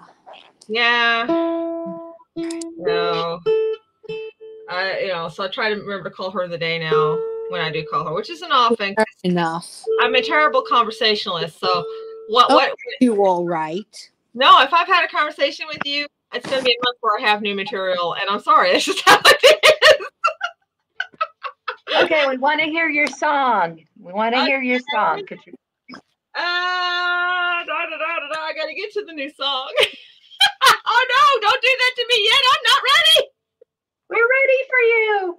No, I'm not ready. Don't worry. You'll just just relax. Just relax. Well, Anyway, you missed my song. I did sing one song, but I'm sure I uh, can send it to you later. You might actually like it. what's Well, wrong you with can watch the whole thing later. Yeah, it's all going to be there. Yeah, I saw the clip you posted on Facebook of Leslie. Mhm. Yeah. And, and you guys actually lucked out because I had completely forgotten with the fury of the day and we're exhausted. And we were like, let's watch Coco. And I came down and I heard you guys going. I was like, oh no! I can't believe I forgot. I had a reminder and everything. My computer was supposed to like beep my phone. It's like, uh, did you want to know what's going on? Yeah, you know, I I go and I always set, I know what you mean. I always set reminders for things like like a day or two before the actual day, and after that, I just you know just keep it in mind. You know, I just think. You know, if I know earlier, I'm not. If I don't remind myself the same you day, don't but before, You don't I'm remember what the reminder is for, so. I used well, to be well, much well, the better point at is, this. go write it down. You know, most phone programs these days have places for you to write down what the reminder is for, and it will display on the screen. Yeah, it would be nice, but I, I, I gotta admit though, I was an hour or something away. You tell me what kind of phone you have, and I'll help you find a program that does that if they make one. Well, uh, the thing about my smartphone is, um, Hmm? I don't have an addictive personality, which means I'm not addicted to my phone, which means I will forget it in places. Well, that's okay. Well, you know, you can always have it. You you can always email yourself reminders and set them up to be delivered at specific times. That way, you will at least get a notification that the email happened. You know. Uh huh. And I just got to get this to where it's like reasonably in front of me because Yeah. Well, if there's anything, if me, I know a lot to do to compensate for organizational issues. Oh, I'm terrible about that. I mean, I used to be so good. say there's an organizational issue that can occur. It has occurred with me on my watch, so I can probably, you know, I can probably help with. Let's just say if there's a screw up, I have screwed it up, so maybe I can help you. But, you know, I used to be a purchasing secretary, right? Uh huh. Yeah, that that that takes a lot of organizational skills. Surely it does. Surely. Yeah, and I guess I got burnt out. no, organization ain't gonna happen. I guess I'll start with uh, a really old classic. Do you guys know who the Carter family was? I've heard Uh-huh. of them. Uh, uh-huh. June Carter, uh, Johnny Cash. I didn't know Cash was in it. Well, He that, was trying to have been one of the Carters, You didn't know, he? from a way back. um, my grandmother, you know, she was a radio star, and uh, really? yeah, really, and um, she used to sing a couple of songs by the Carters. Um, Sweet. So, but this one uh, is a song they used to sing. I believe they're the ones that set the melody to it. But Mhm. here's the original lyrics, and they can just kiss my red little behind. Okay. They can kiss that left pimple. So here we go. You know, we'll, we'll, we'll start with this because it's easy. You guys might even know it. I don't know. Well, we will soon find out. Yeah.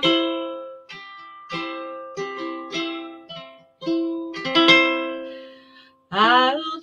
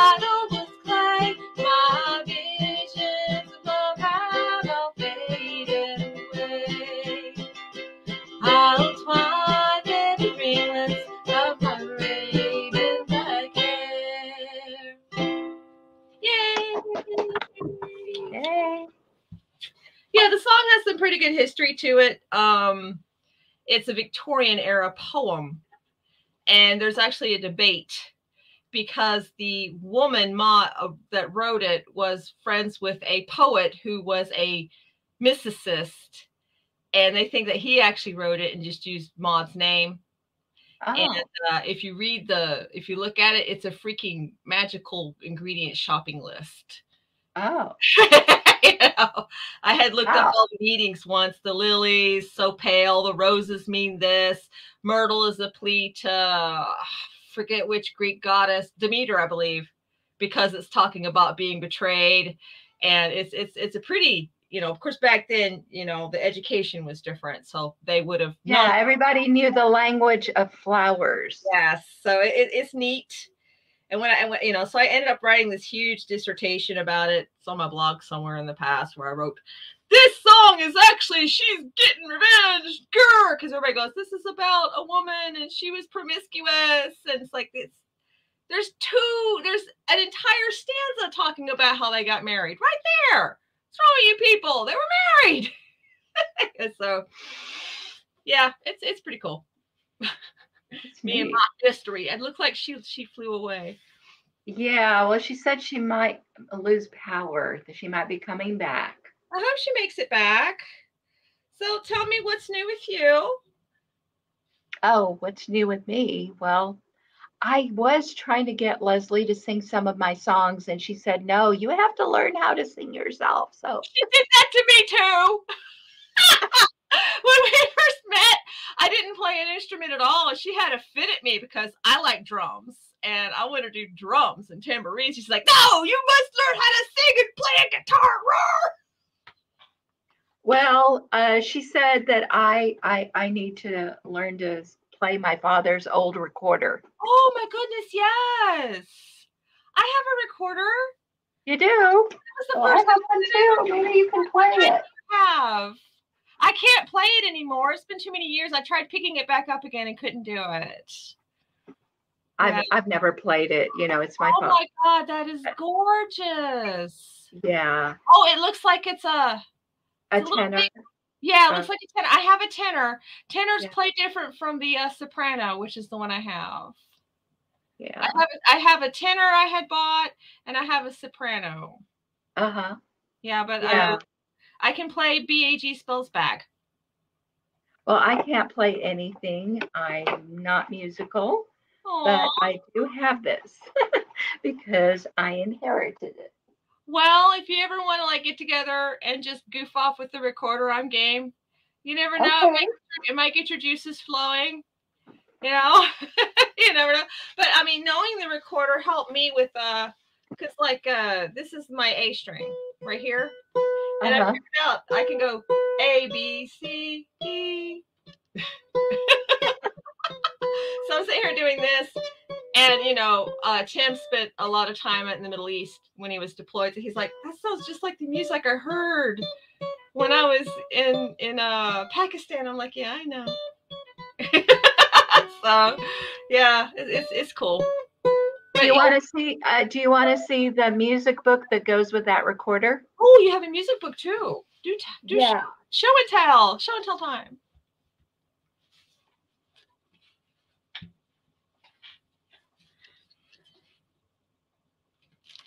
Actually, I think the beginning one is for a soprano. Uh, but anyway, Is that Hebrew? yeah, Oh, that is so amazing. there's a Khalilit. Actually, Khalilit is the smaller one, and the one that I showed you is Khalil, uh, which is the larger one. So the the ending of the Khalilit that makes it small. That's it's feminine. It's feminine. It's, Oh, it's feminine. How neat. yeah, yeah. So anyway, this shows you how to play it, but it shows you what to do and everything. Oh, I don't see why you shouldn't um play at least don't just do something as simple as once in a while. I think it'd be great. Oh, I think Kate's back. I hope Yeah, I'll Kate. stick around. I don't, I don't know. Sometimes I, I get these weird, weird problems with with charging and with electronic devices. And I, at one point, once uh, some an earlier smartphone I had, they literally said that it was actually not supposed to be possible for that smartphone to fail in that way, and that apparently I'd not been abusing it. I don't know. I think I think I don't know if I have some like really bad psychic power that destroys machinery, or if the machines just don't think I'm worth listening to. I don't. I don't. I. I'm serious. I've let's just say I let's just say I've seen a lot of things happen. I've had a lot of things happen, and I've had witnesses to some of them. Well, my, Wait, my that song was that, that tune sounded a lot like Reuben James. What who was it who wrote "What were their names? Tell me what were their names." It it sounded a lot like that. well, it, it was uh, the Carter family's tune, but that, Right. that song's really old. I mean, it's, Oh. I know. I was wondering if whoever I forget who wrote the was it Woody Guthrie or someone else? Eh, Yeah, it was Woody Guthrie. I, I'm wondering if he took the tune from that because it sounds like parts of it are sort of similar. You know. I wouldn't be surprised. I mean, it, it, expert. I'm only guessing because most of the time when people say that a tune is the same or a tune is similar, I cannot hear. I cannot hear that it's that it's similar. I get really messed up by some things. You like, I don't know, like the sound of music. Like, why did they say this note was that she was singing this note that was supposed to be do, and I don't think it was do. That kind of thing. well, I wouldn't be. I wouldn't know. I've had this video up on YouTube about the circle of fifths for a week and a half. I get two minutes in, and it's like I've got to go handle this cat, or I've got to go do this. But let's just say it's it's interesting. There were a lot of singing lessons at us at one of the schools I went to, not the Jewish one, the one after that, which is even worse some ways. Let's let's just say they had this thing called movable dough that apparently everyone had a lot of singing lessons. Apparently, movable dough is something that apparently humans are born built to comprehend and see i wasn't and they never let me i mean how can i mean how can it be dough and then something else is dough and this thing i mean how am i supposed to Oh, even I, so, so basically it was changing keys. Is that what it was? not so, no not that not that is changing not like changing keys within a piece but apparently you were supposed to hear certain notes as sounding the same or certain and you were and i didn't and you were supposed and apparently transposing was supposed to be natural and i had to work it out every single note every single time and it, it's like there's there's like something wrong with that and as far as I'm concerned as i'm concerned everyone else in the class was doing magic you know they were they but they were doing by by esp or something and i had to She was at Hogwarts. I'm not at hogwarts i i i wish i i wish i was at hogwarts maybe they could have taught me music by now but i was literally considered subhuman because okay I'm dyslexic, but it happens that I am more dyslexic with regard to trying to read music than with anything else, even though I know how music notation works. And if you give me a sheet of music and you give me an hour, I can figure out what it is, or, or I can pick it out of the piano because I know, okay, what note to play. But to get from seeing it to singing it, to know what it means, I have to translate it. It's like, it's like looking at a page of Chinese and having to look up, you know, every character in the dictionary as opposed to like, I guess, knowing Chinese. Apparently, it's supposed to be, it's all supposed to come natural or certain naturally, or certain bits of it are. And I was actually, they actually told me that there was something, that there was something wrong on me because someone who, you know, basically, I, I was, I was literally told it was offensive to be able to sing on pitch without having the rest of music ability. And they embarrassed me so much that for the rest of the year, I couldn't sing on pitch in the same room with the teacher who told me that. Wow, that's In fact, I know that I don't even think he's still alive, but if he was, and if he showed up, if he showed up on Facebook, I know I would lose it. I don't know what's I don't know what one is supposed to do with that. I don't even know if it's real or if it's some kind of psychological trauma. But there have since then been certain people who reminded me of that gentleman, and when around I couldn't sing on pitch. he's waving to everybody. He just doesn't feel good enough to Hi, Tim. Um, okay, well, hello. Too bad. brush your teeth, And I won't. The only reason I mentioned not clean. to whine. I whined enough earlier for one thing because I was just upset about some stuff. But I'm wondering, since you are musically inclined, maybe you have some knowledge of what this, what to do about. it. Mm-mm. Oh, you don't understand. You know that movie Coco? Yeah, I think so. Okay, you know how like in Coco. heard of it. I never, I did not see it, but I did hear about it. I typically don't watch movies with like death and ghosts because I get very freaked out. Okay, but but I do know about. it. I do know the story. Yeah. Well, in Coco, uh, the kid's problem is that four generations ago, a family member disappeared and he was a musician, so the whole family hates music. Yeah. That was my family. So uh, Oh. there was love for music, but you know, and like Coco, I had this musical bent, but my mother was dead set against it. So, you know, she had her reasons. Part of it was financial. Band is expensive.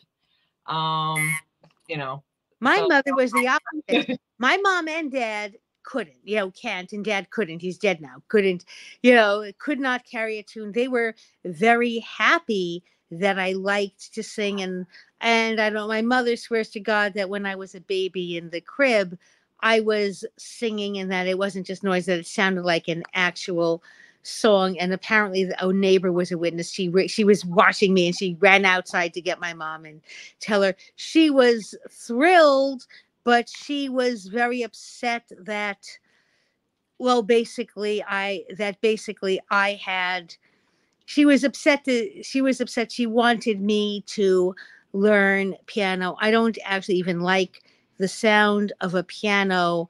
It's it's like it's funny i like harpsichords but i don't like pianos but you know harpsichords are not what you get. In brooklyn you know i you know i'm talking about just what i like to hear. It's just somehow even when i'm playing it right it sounds wrong and i don't i don't know why. But anyway anyway i i very seldom played it right i would like practice for hours and hours and i would literally get worse. I have enough coordination problems that were not diagnosed that you know i wasn't improving and you you know i mean it did you know i seemed i seemed to get I seemed to get worse. And I, you know, when people tried to make me say that I was lazy and not practicing, but it was, it was not, it was not true. And, you know, times I finally got it right, I just, it, you know, I just felt, I, I just, you know, I felt like a fake anyway because I knew it wouldn't last. Oh. Well, I mean, you know, um, if you're wanting to become a musically inclined, you're going to have to set all that aside. I wouldn't, yeah, well, I wouldn't say the point is there are, look, I like to sing, I like to listen to music. I would, I, I would just say, I could, I would have been able to set it aside, but it's very hard to set something aside when you're tell when you're telling the truth and when you're Yeah. then called a liar, including someone who witnessed. I mean, if you have Yeah. someone in the room with you, listening to you practicing for two hours and then telling you later in the day you obviously didn't, and then the next day your teacher says you obviously didn't. I don't know what I, I mean, we tape recorders were not really common as, as a kid. You know, I didn't really have access to one. It's not like I could have taped myself. But if I even if I had, that could conceivably have been faked. Uh-huh. And even though my mom would eventually stick up for me, eventually said, you know, come on, you know, she sits there and she practices for an hour, two hours. She does more than you say. You know, I would improve, but it it wouldn't it wouldn't be fast enough. And the problem was, I still couldn't read music. You know, you you had to sight play. You had to look at something and be able to play it without working it out. And uh, you know, and and I I don't I I just I I don't know what to do when someone tells me I'm not trying and I'm trying. And I thought maybe you have an idea about that. Okay. Well, do you have a do you have a song? I wish I did. I've been trying to come up with one. I thought I would once I heard you late, you know, once I heard some more. My mind is I thought I would have one and my mind has been totally drawing a blank. Oh, I've had that happen. My fallback when that happens is the ABC song. Honest to God, if I ever start singing the ABC song, it's because I don't know what to say. I'll do it, although I'm going to feel I'm going to feel ridiculous.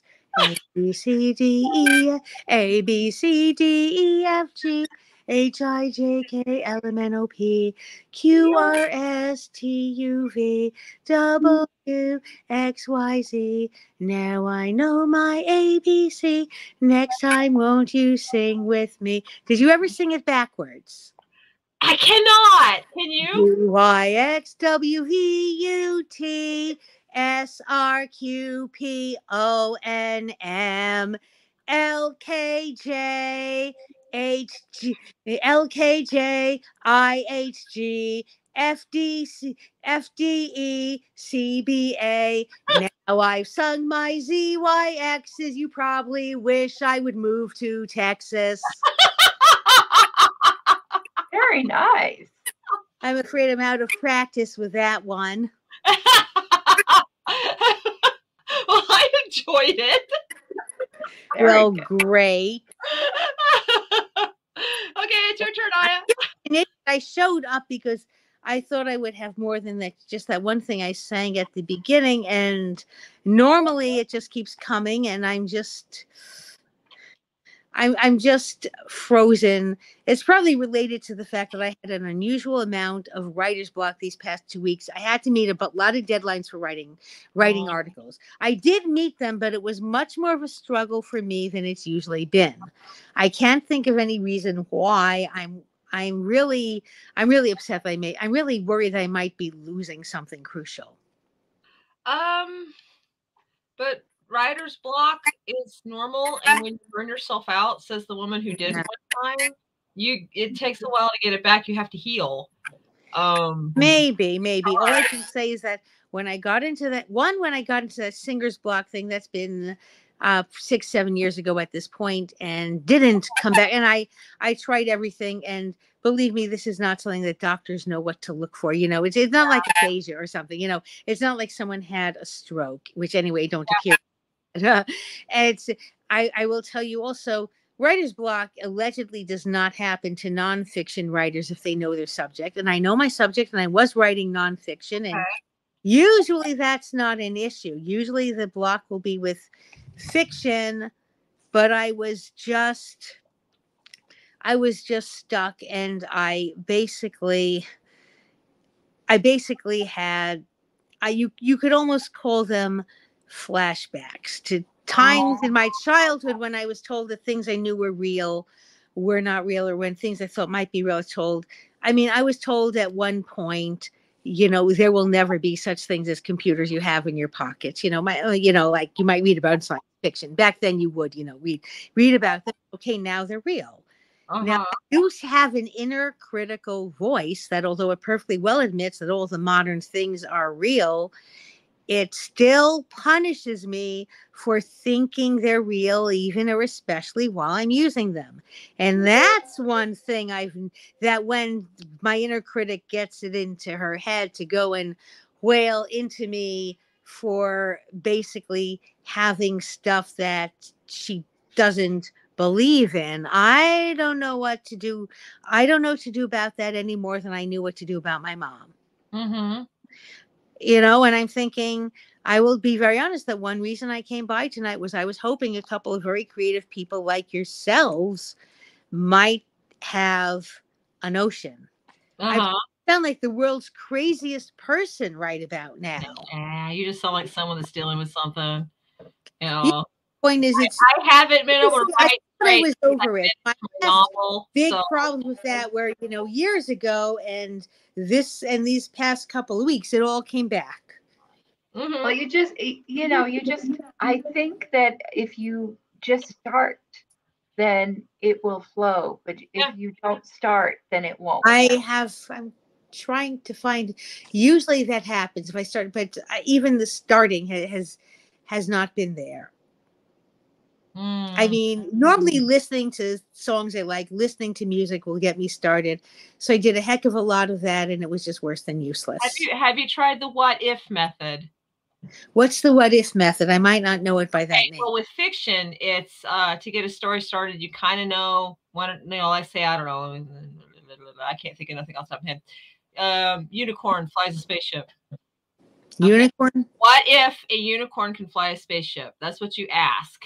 You ask yourself a I what if that that's one of the things I mostly do, and it just hasn't worked. Ah, I, Well, I mean, there are I know my well of information. It just ran dry. But I mean, if you're trying to do, are, are you trying to write fiction or filk or what? I was mostly trying to write nonfiction. I had to write for work. Fortunately, I did make my deadlines, though much more narrowly than I'm accustomed to. I had much less time to spare than I'm used to having. And it was a lot harder work. I did try to write some filk because ever since that my circuits burned out on that day, I've always tried to. I I will tell you that has never worked, but now the nonfiction you know, didn't work either. And that I am not accustomed to. And if I can't do that, you know, it's it's not going to be good for me, you know? Yeah, well, sometimes you just need to take a break. Everyone, everyone uh, goes through dry spells. I mean, that's yeah. yeah. I mean, I went, you know, and I went for a break. Normally, if something like this does happen, a break of a day or two is sufficient to get things rolling again. I did take a break somewhere for about five days and basically did everything else but writing. And normally that would have done it. it it's very weird. It's it, I don't know if anyone else has this experience, but when I write anything, you know, be it fiction, nonfiction, whatever I'm writing or doing, it feels like it comes from somewhere else, almost like it was delivered by the UPS guy. Yeah. And sometimes the UPS guy doesn't show up. You call UPS and well, if you try to find the tracking number and you can't even get the tracking number on, that's how I feel. You know, if I am supposed to get this thing so I can ship it on to someone else and it doesn't arrive, you are waiting for inspiration to strike to write. It's not waiting for inspiration. It's like That's inspiration. You, you can argue with me all you like about it. That is inspiration. Now, here's something Richard Pini himself told me. Mm-hmm. You have to do, learn to get a past inspiration and get it out of your gut. How do I do that? I don't know. That's all he said. He punched my gut and everything. He was like, "You got to." totally gut. My gut. Normally, yeah. Normally, I don't sit. It's like the inspiration might get me started, but normally, yeah. I then do hard work and the work occurs, and it's like. It, uh-huh. it, the only thing I can compare it to is you remember the old line from the Three Stooges, Moe, where somebody says, "I'm trying to think, but nothing uh-huh. happened."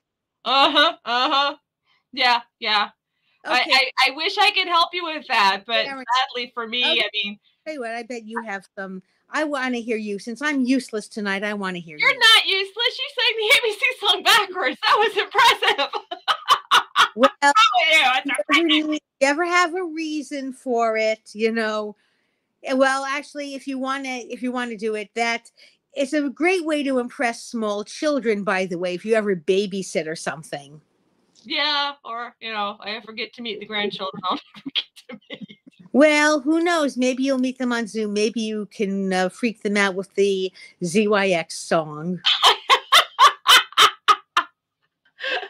oh, oh it, was, it was pretty good. So yeah, you, you got it in you. You just you know you're you're flying. You're you know. Look, maybe I just need, to, you need to, to go to Kokomo. I don't. Why would I need to go to Kokomo? Vacation. Vacation. It's not my thought of a not just the thought of a place to vacation, you know.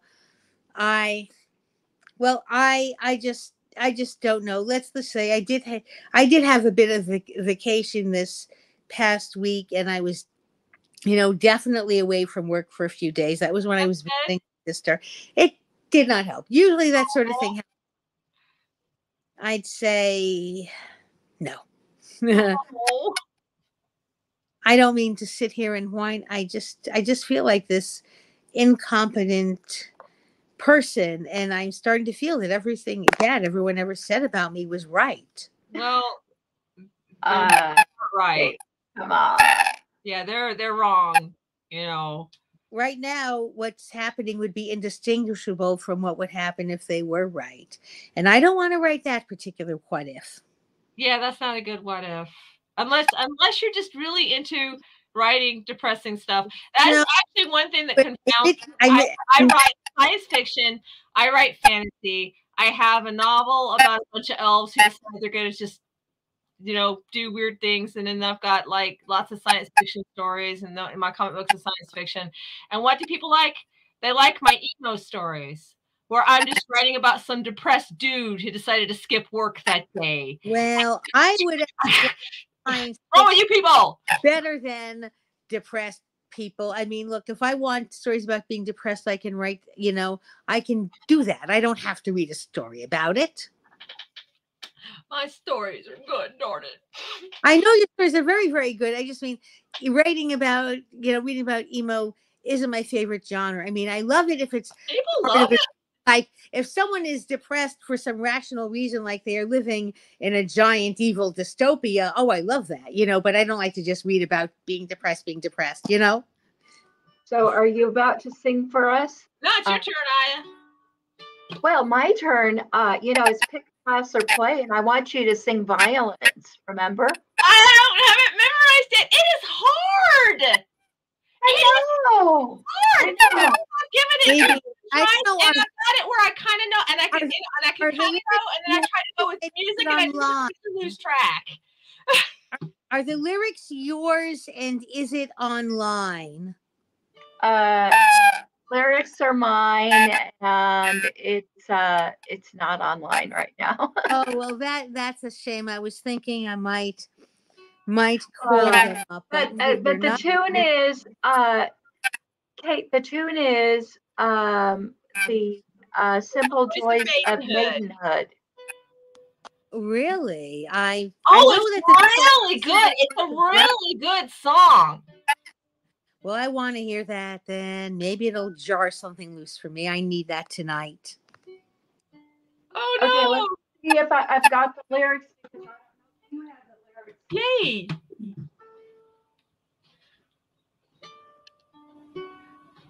Yeah, I don't know if I have it in my book or not. I know I had pra- out practicing. Let me see while she's looking, see if I've got a copy too. Okay. Do do. Okay, 'cause Kate, maybe you can help her to sing it if you know the simple joys of maidenhood. So, Well, I I know there's a song, "The Quiet Joys of Brotherhood," which I suspect is the same tune as whatever this one is. no, it's it's from uh, Camelot.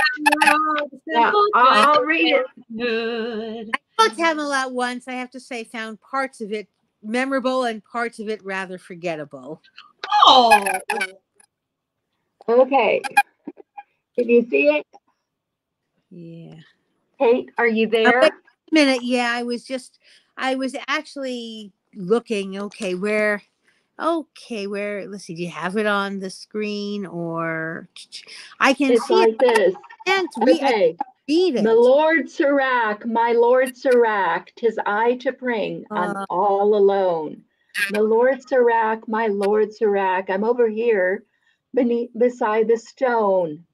I'm unemotional, prim, and staid. You are aware that I have never sprayed. So do you know that? keep going. Yeah, I don't know it. It sound, I mean, I love Vulcan related stuff, so let's go for it. Oh But no, oh, my. Surak, my lord Surak, this once my lord, the choice is mine, my vow I shan't fulfill.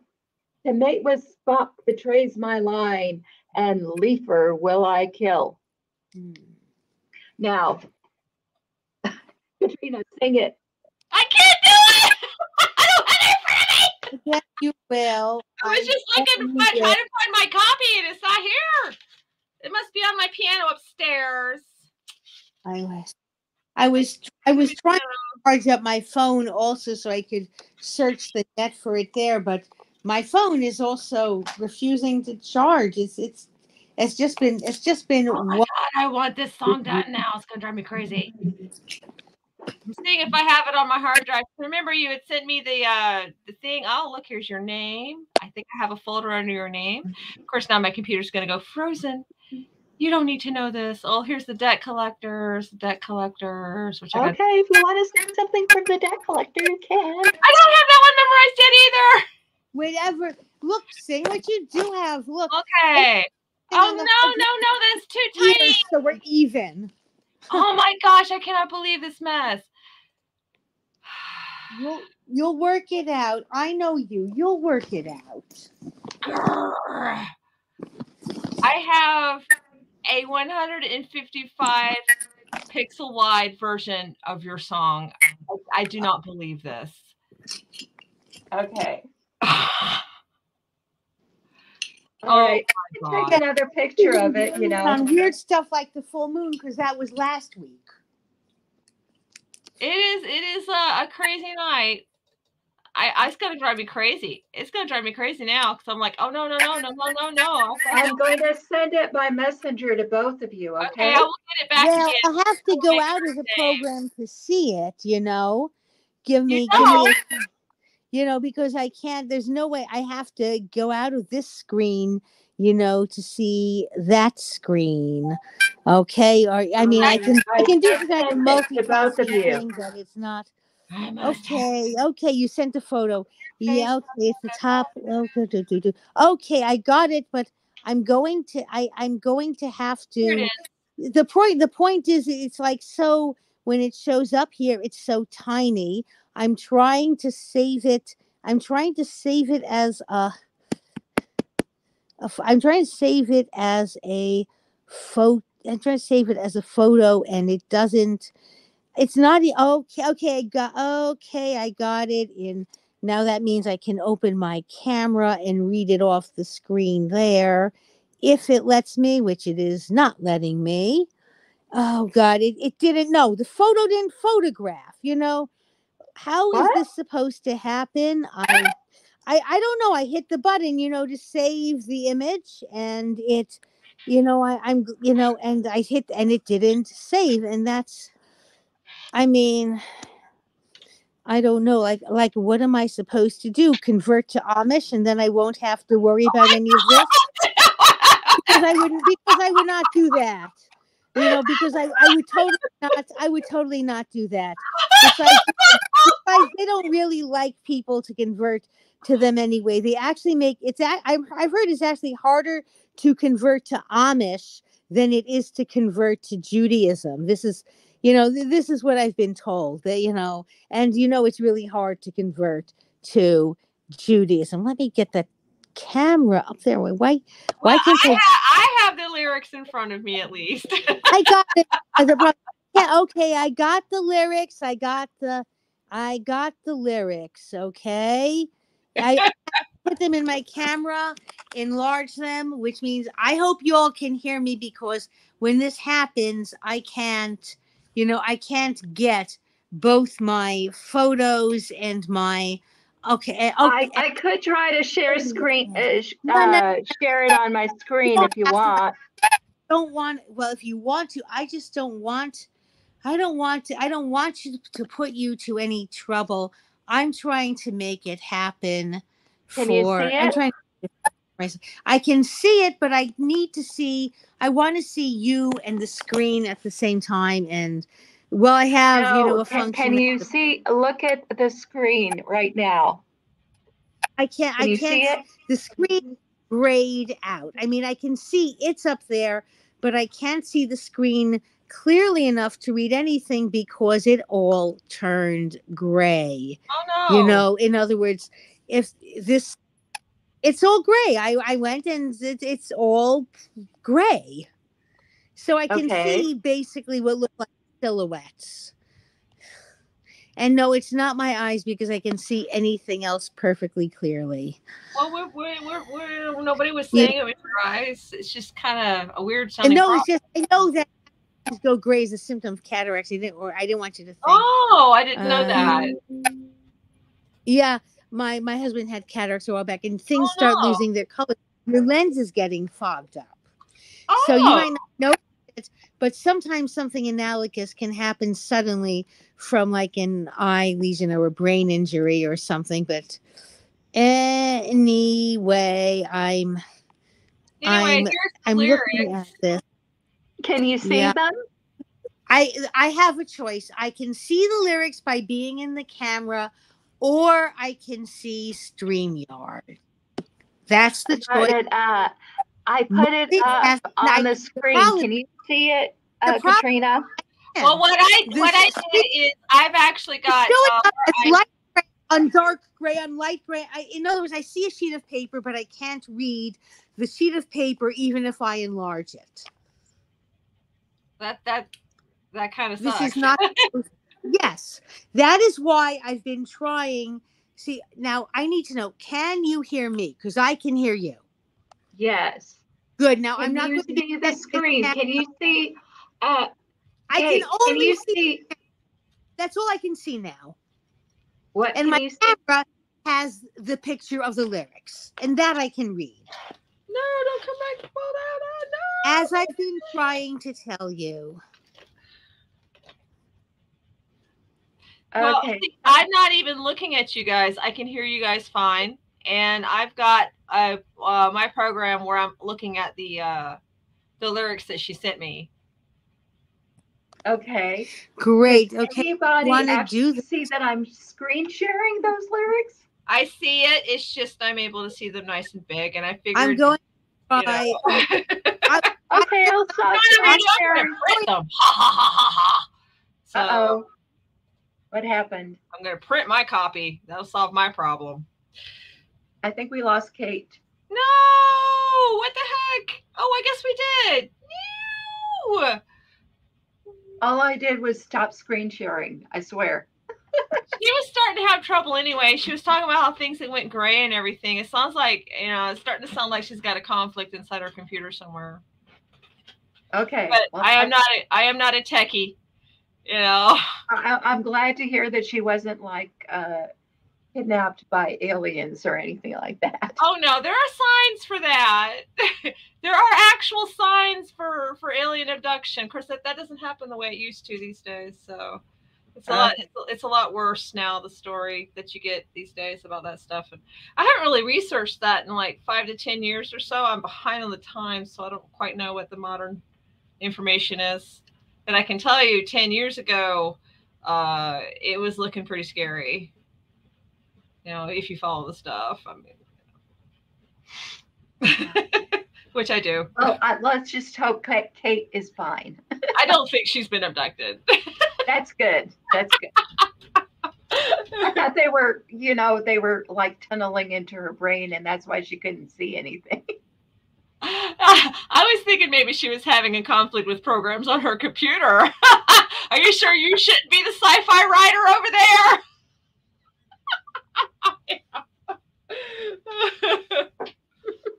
I'm printing out a new copy. You know what? After this, I'm going to find my other copy upstairs somewhere be like, "Oh, there it is." But uh there, see? Okay. Yeah. but I don't know the tune well enough. I can probably do the first part of the chorus because a lot of it's uh, in the in the version I found. She just kind of talks, you know. It's like here I am beside this rock, you know, you know. and now I'm gonna pout because Genevieve, you didn't save me from this marriage. So hold my breath. Um. So yeah, it, it's a it's a very hard song. I mean, it sounds so simple, and then you start trying to do it with the music, and it's not simple at all. Well, first of all, you have to be a soprano, otherwise it didn't work. All you gotta do is bring it down to a lower key. I mean, you know, that's that's not a problem. Uh, and then I tried finding like the chords because then I was like, well, if I get the chords and I get the tune memorized, then I'll just be able to do it myself and not need all that orchestra stuff, you know. But uh, she's not coming back, is she? I don't know. I don't know what's going on. I hope we didn't chase her off. She's I having don't think such a hard so. time right now. She seems to be struggling today. Yeah. I So I will I will send you know, I will send my goth sparkles at her. Gothy sparkles of joy. Gothy sparkles of joy. Dark sparkles. Dark sparkles. Oh wait, no, she gets scared by ghosts. She said so. okay. okay, so that that that cuts me out. Okay, so anyway, yeah, um, I can do um, uh, I can get up to where are the simple days of violence when every problem, and then I get lost. Could be Could so be bad. It was far better than it seems to me when none frowned on the caliphate. Genetics then was never see, and, and I lose the tune. It's hard. It's a hard song. I'm impressed. is. You know, I'm going to get it. Have no fear. I am going to get this song memorized for you. It's a challenge now. Okay. All right. I trust you. I will keep my promise. Um, I just wish I could do it tonight. That's okay. You know what I need? I, you know what I do when I when I hit a, a, hard a song like this is I I try to get an MP3, and then uh when I'm driving somewhere like because I have to go like an hour to the grocery store sometimes. There I she is. will- I will play the song repeatedly in the car with me to memorize the song. Uh huh. And uh, people don't like to ride me ride with me when I do that. Kate, welcome back. What happened? Thank you. Just to clarify, the old the t- the ghosts and horror that kept me nervous, I get like where the whole thing revolves around death, like you know Oh, Hitchcock. You know, I love go. I mean, I love ghost stories, and I love that kind of thing. But it's like if the whole thing is about somebody being dead, it oh, okay. Okay. gets me. You know, that's what. So you, you understand? I and I don't watch, you know, horror movies or Well, y- look, you know. It's, there's this movie White Noise. Have you guys heard of the movie White Noise? I'm not sure. It's a horror movie that's supposed to be oh so super scary. And maybe it's because I grew up with night terrors. Maybe it's because I grew up in a supernatural household. I don't know. But I found Well, I it love about your supernatural quite mundane and boring and average and everyday. But my boyfriend, on the other hand, was terrified shitless. And all it was was spirits were talking to people through the white noise on the television set. That's Oh, you know, that's actually based on something that people have Yeah, reported. I don't know if it's real or not, but you know, there are people That's what they say, but uh, so was the Oracle. I mean, I will tell you, I've heard the recordings, and they could have been the anything. There's this researcher, or there was in Lithuania, Konstantin Raudive, and he claimed that if he tuned his radio to the static between stations, that that was the frequency that the ghosts could talk on. They would talk to him, and Yes, he would record these things that he claimed were yes. Conversations with the ghost, but no one else could hear it but him. You know, even if they spoke the language. Oracle of Delphi. Got it. Yeah. I believe that it was people hearing things, you know, the way that you'll see a face in clouds or that kind of thing. Because But there are people who build what they call spirit boxes, and they're basically radios that don't tune. right. Catch snippets of like radio waves and stuff, and they're like, "That's the spirit talking," and you can tell it's really just a snippet of. That's that's what it was, I believe, because I've heard the tapes and even the ones that were supposed to be in English or in some other languages, language I know, it could have been anything. You know, if someone tells you that random noise is a pattern or that this noise is really someone saying, I wish I wasn't dead. You'll you that's what you'll hear because someone suggested it to you. You know, it's no different than faces in the seeing the face of Elvis on your morning waffle or whatever people come up with. but I have recorded audio of ghosts talking. Oh. You can do it on your. but it computer. wasn't off the radio. It was record, you know. No, I'd love to hear recorded those out record. the air. Uh, uh, we had uh, the fortune of getting our hands on some of the military grade microphones. We still have one, as a matter of fact. You can hear people talking a block away.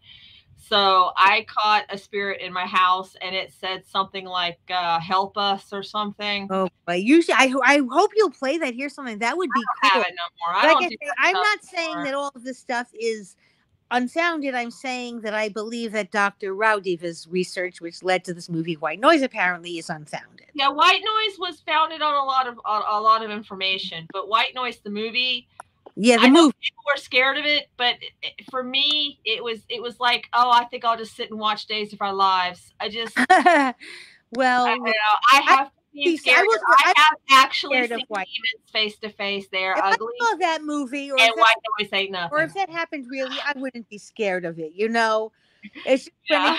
to be the ghoulies and the Cthulhu.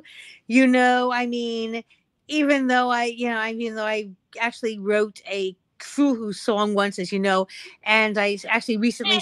that for a niece of mine who was very into goth and Cthulhu, and she just totally loved it. You know, Gotham. I think I sang that. I think I sang that one for you. I don't want to torture anyone else with that.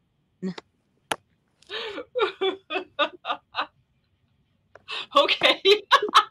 I think I think the spooky talk's probably more appropriate for Halloween though. yeah, that, that's true. Although we are coming up on May Eve, when at least Leslie or someone would probably say it was appropriate, you know. Oh yeah, yeah. I guess so. I'm I'm not pagan, so I I don't know. I'm not. I mean, I know I know a couple of them, including Leslie, but look, I'm not one. I I don't think they're bad people or any of that. I know better than that. All the ones I've known are quite decent people. I just don't think I would be a good fit for that. You know. I mean, you know, I- we are what we are. What we are. You know. We Well, yeah, have our own. Look, I, as I say, you know, all the ones I've known personally have been decent people. You know, I mean, I, I will, I will, oh, I will definitely say that, and I will always say that. It's just, I it's have- just I some, have you know, some wonderful, wonderful pagans. I have known uh, this wonderful Thelemite. He was a wonderful per- person. I, I rather enjoyed his company. I've known Satanists. You know, I've known lots of Christians. Uh, when it comes to I would, I get like, people, I, I don't know. You guys I- keep walking into my life, and you it just okay. yeah, I mean, I I think it's I've on that.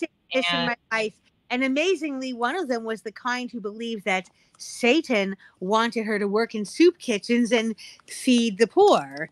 I don't know if she was Yeah, Yeah. Lucifer, the the Luciferian, not the Luciferian Christian, but the Lucifer people who follow Lucifer. Uh, Mhm. When you get into that particular region, it is not what the movies tell you it is. Well, right. I mean, I I know that to discount those movies. Well, well, let's just say, you know, let's just say I. Well, she was definitely not your image of Satan. I, I, unfortunately, when I was at college, there was someone in my dorm who very much was. What he was was not only was he like sitting up all night, you know, howling at the moon and screaming Hebrew incantations of the great beyond, but the Are Hebrew was mispronounced, and he wouldn't believe me when I told him. Are there really such a thing as Hebrew incantations? That would be cool.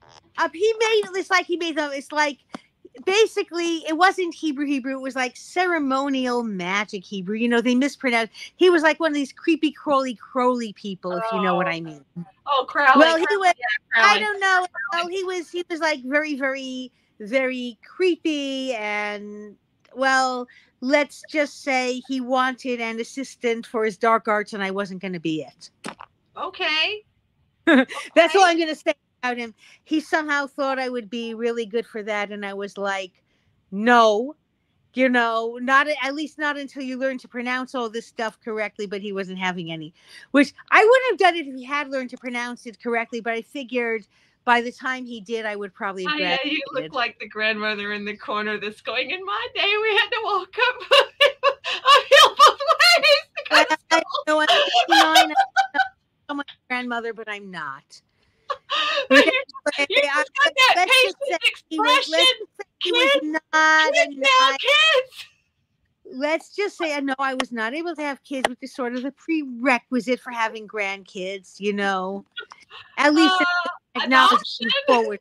No, uh, well, we thought of that, but given that both my husband and I have had psychological and neurological issues, we didn't think we'd do it. We went, tried, you know, the whole IVF ICSI route, and I got pregnant a couple of times, once with twins, but like they all died, like in my Oh, womb, like real.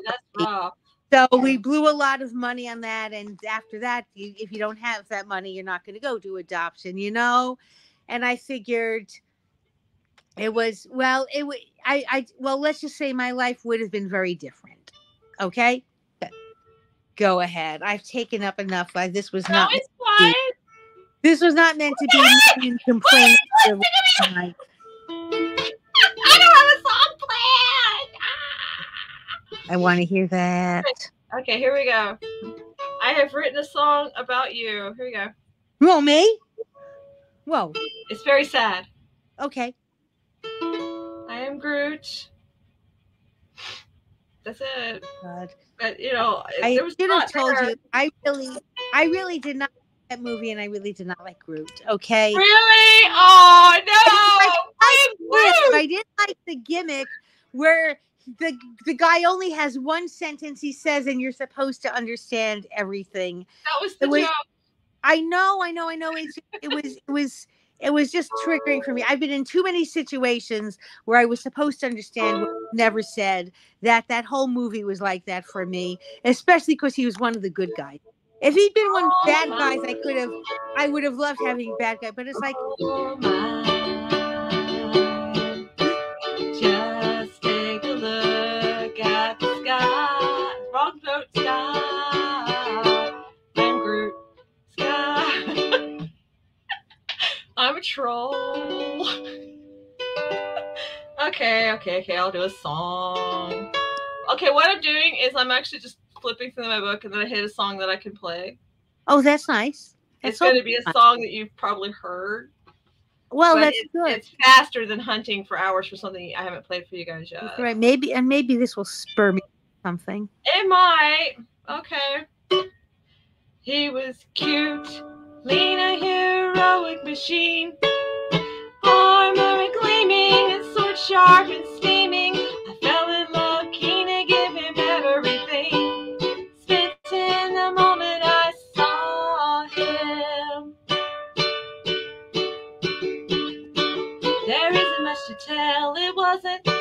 Accidental spell. Castle typing into a spreadsheet. I held the alt key too long, fingers slipped out all wrong, and the printer spit him out with a character sheet.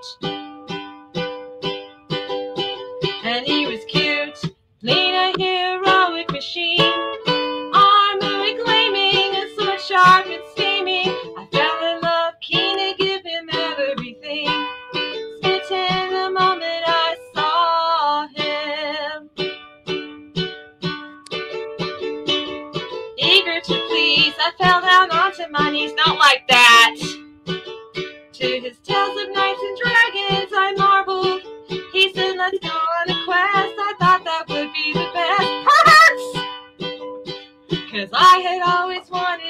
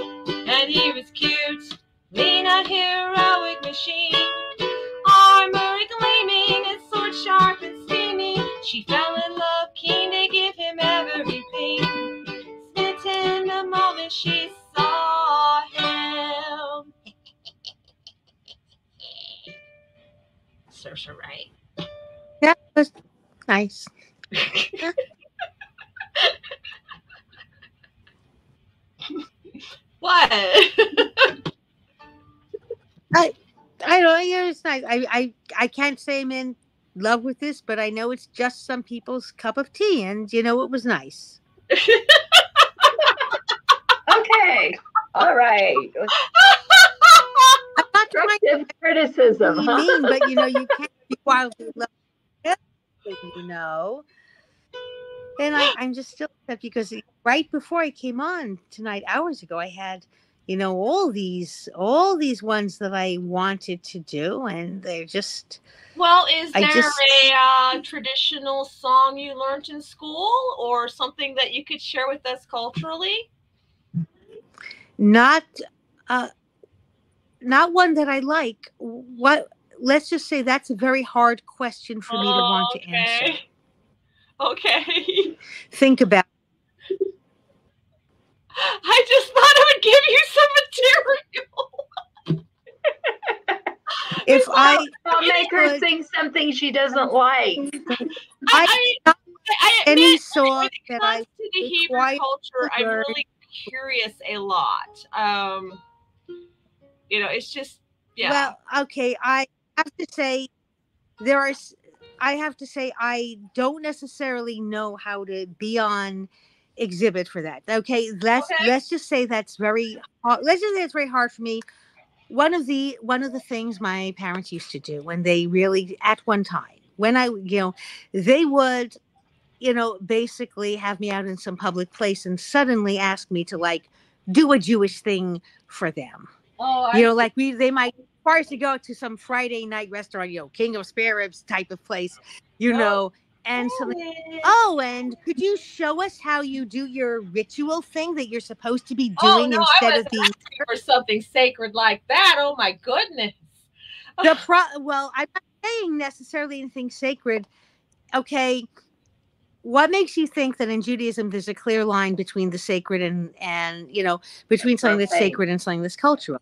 In any case, I didn't necessarily like or love what I was required to learn at school, especially because I was made fun of for not having made sure to grow up with it already before I got to school.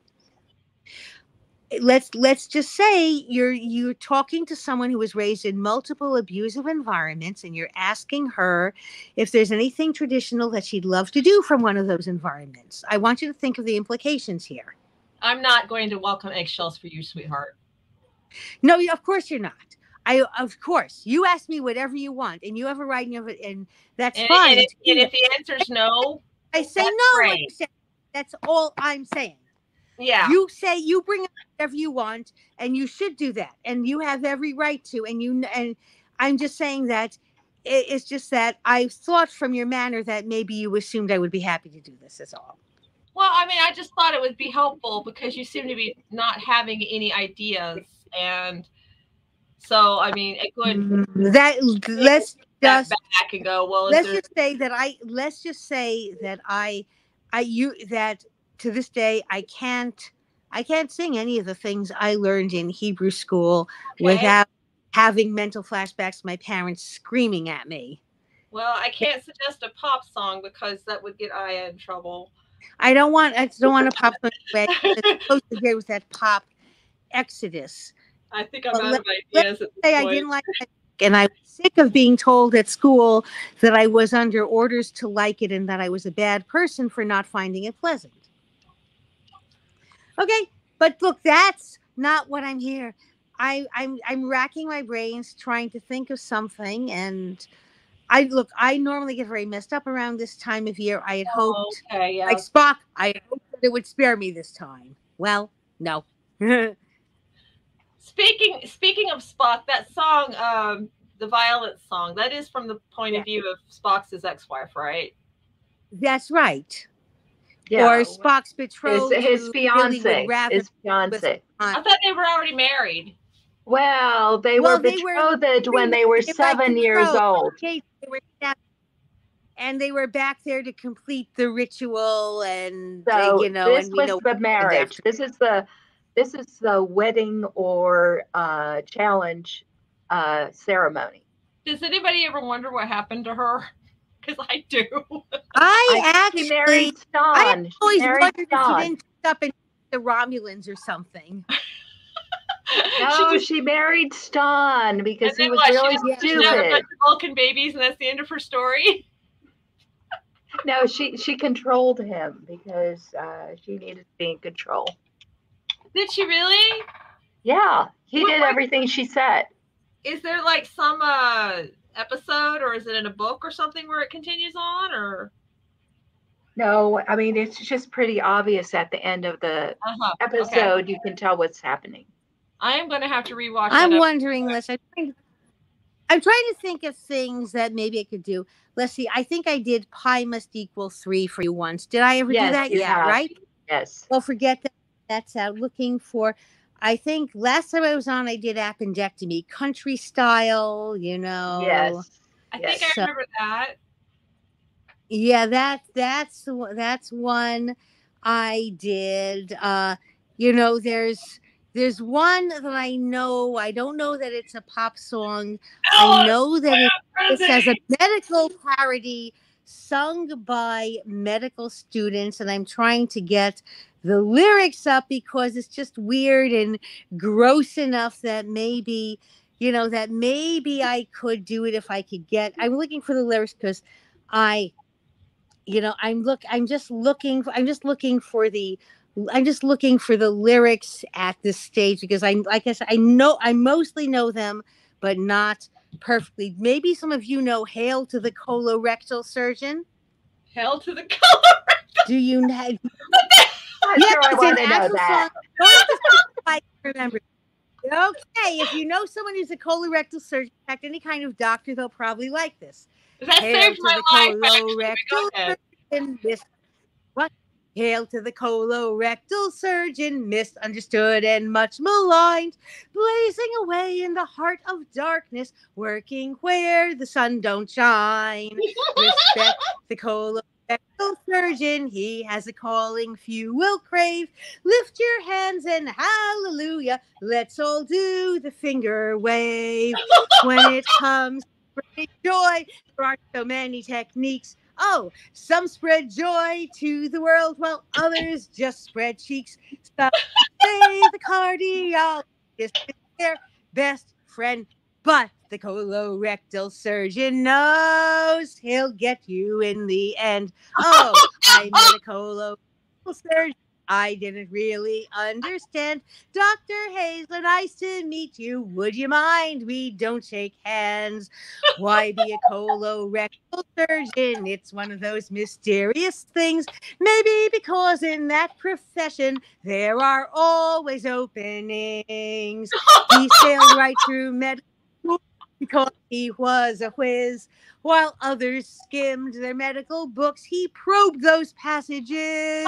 Uh, doctors what he wanted to be for golf. He loves to play.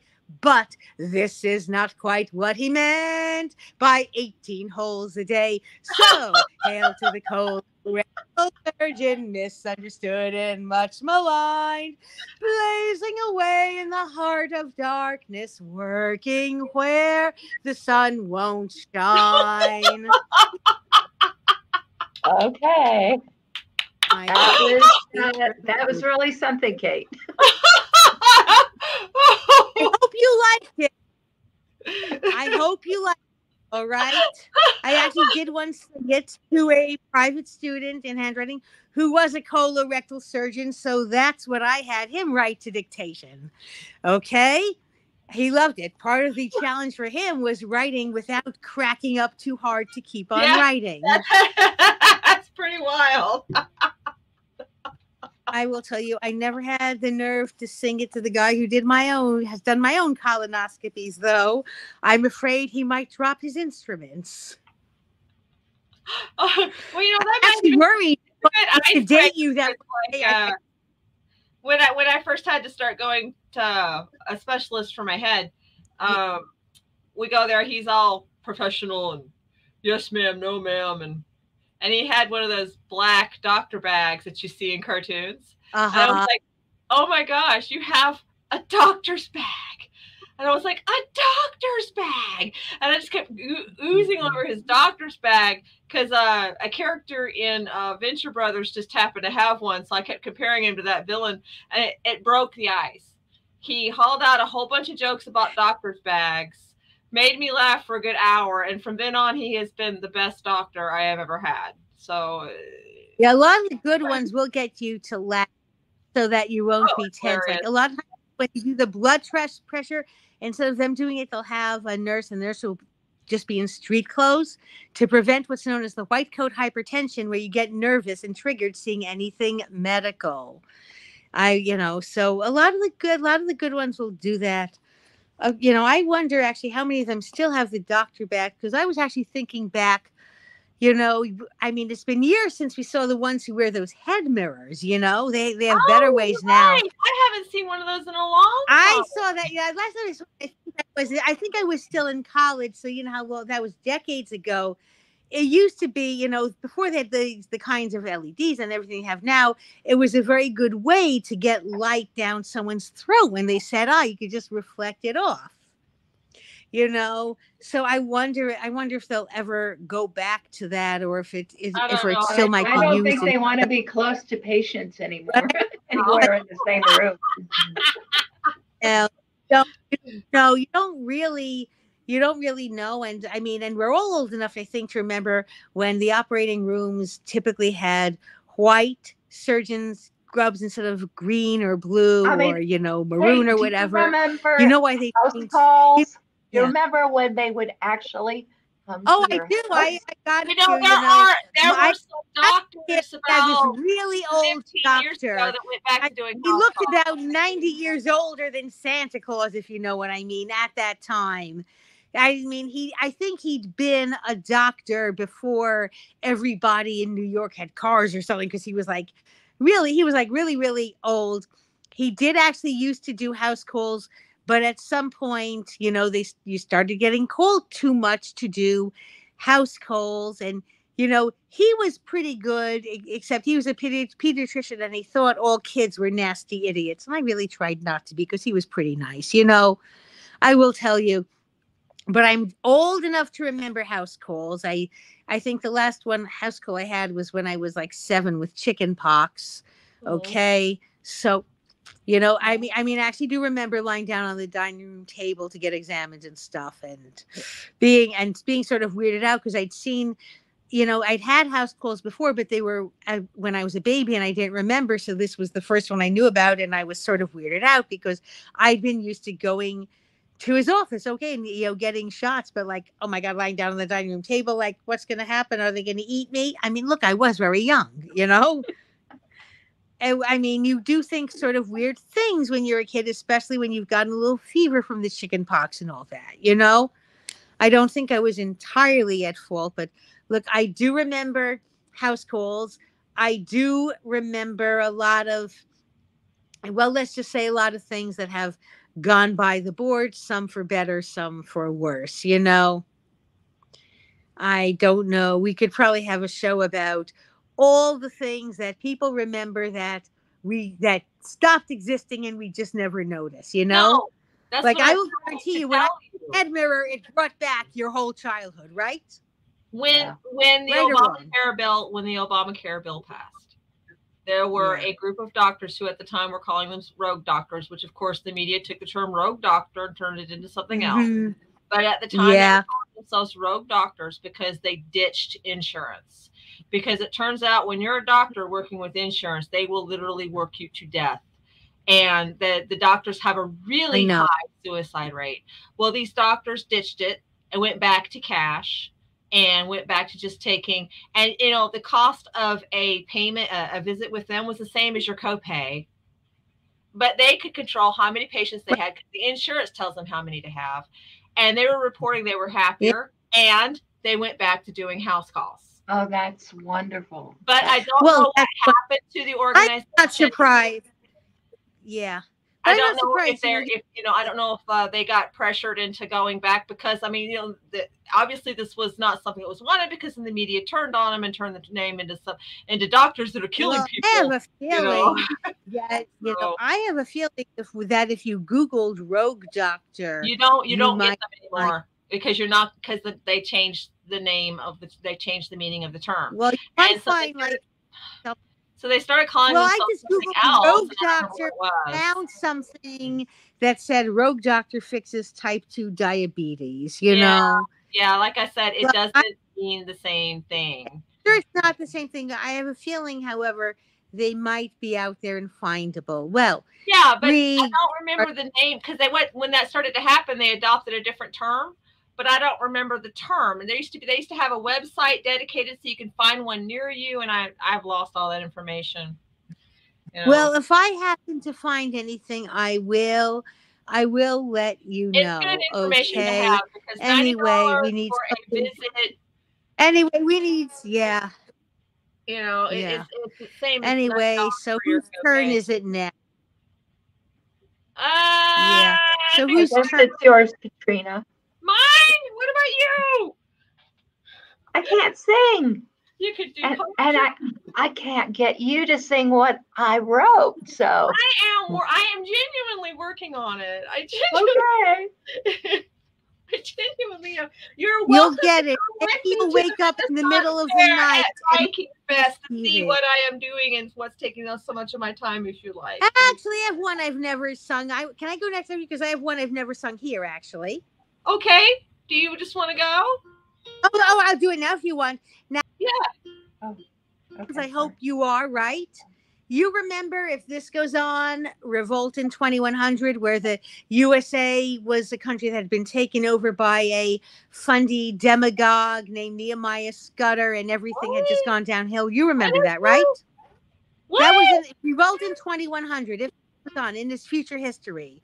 Well, it was a USA, actually would be about the year 2200, and it was supposed to be after a very scary, fundy preacher had won an election and made himself dictator for life and stopped all elections, and we were now like the United States of Jesus or something, you know. Oh, this Anyway, what everybody keeps getting afraid of every time somebody gets elected they don't like? Because you hear you've heard it for the past four elections.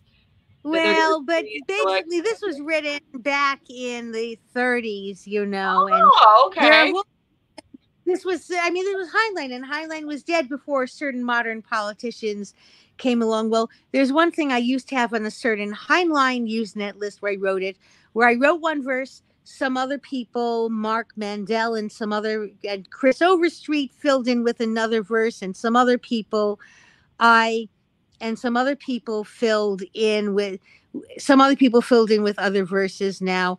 I will tell you that there were two very abusive people who wrote third and fourth verses to the song, but they were specifically written to abuse me by basically people who had just also issued me death threats. So I will not sing those verses. I'll only sing the verses I would- which are the ones wrote, the one Goodness. Nehemiah Scudder, of course. This will be the Rambling Wreck from Scudder Tech. In other words, a very fundamentalist college. I'm a rambling wreck from Scudder Tech, and I'm dead between the ears. Because the Bible says the universe is age 6,000 years. Oh, Hubble tells us differently, but I don't care, my dears. Because on the Scudder Tech curriculum, astronomy never appears. So I never wrote a chorus for this, but Chris Overstreet wrote a second verse, which was in my first year at Scudder Tech, I went and broke my arm. Despite the Bible telling me the righteous fear no harm. The doctoring I got at school could not be called full blown, cause a medical curriculum at Scudder is unknown. I'm not going, as I say, not going to sing the rest because I do not approve the rest, the rest of that statement. But I thought, I thought you'd like it. I'm, I'm actually going to, you know, I literally did while you were talking before. I went on to Bing, which which is a search engine I use instead of Google because Bing, even though Microsoft owns it, they do pay you to do searches. Okay, I guess because that way they find out. And I actually went and basically searched "Filk" by Kate Gladstone to see if I could oh! find a few of my old ones that I'd forgotten ever writing. I Okay. found I found so I found that one which trying to get it I'm trying to get it to I found another one that I'm trying to get it to display which it is which it is just which it is just not okay? I'm thinking do do do do do I'm just going I want to I just want to see if there's one thing I could get up but why don't you sing while I try and I'm trying to dig up some of my old stuff which which isn't which isn't going up you know Okay. And so I guess this means because it's now.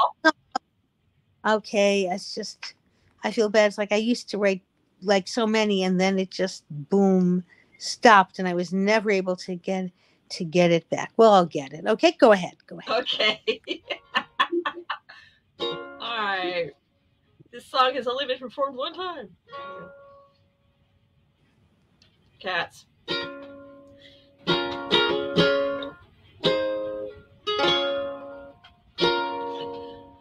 Robot went to the moon one day, put up a dome for a place to stay. Got a rocking chair bobbing round the clock. Pumping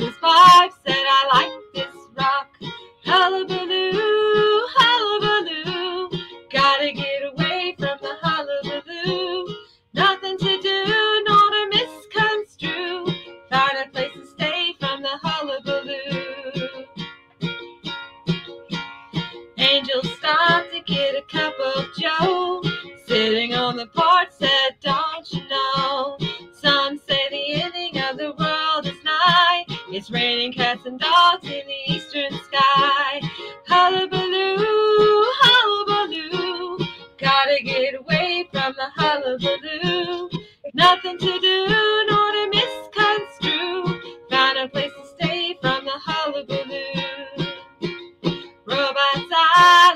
patient smile. Said it's sad, people get hostile. When a trace slave, I thought I saw the end. That's why I'm here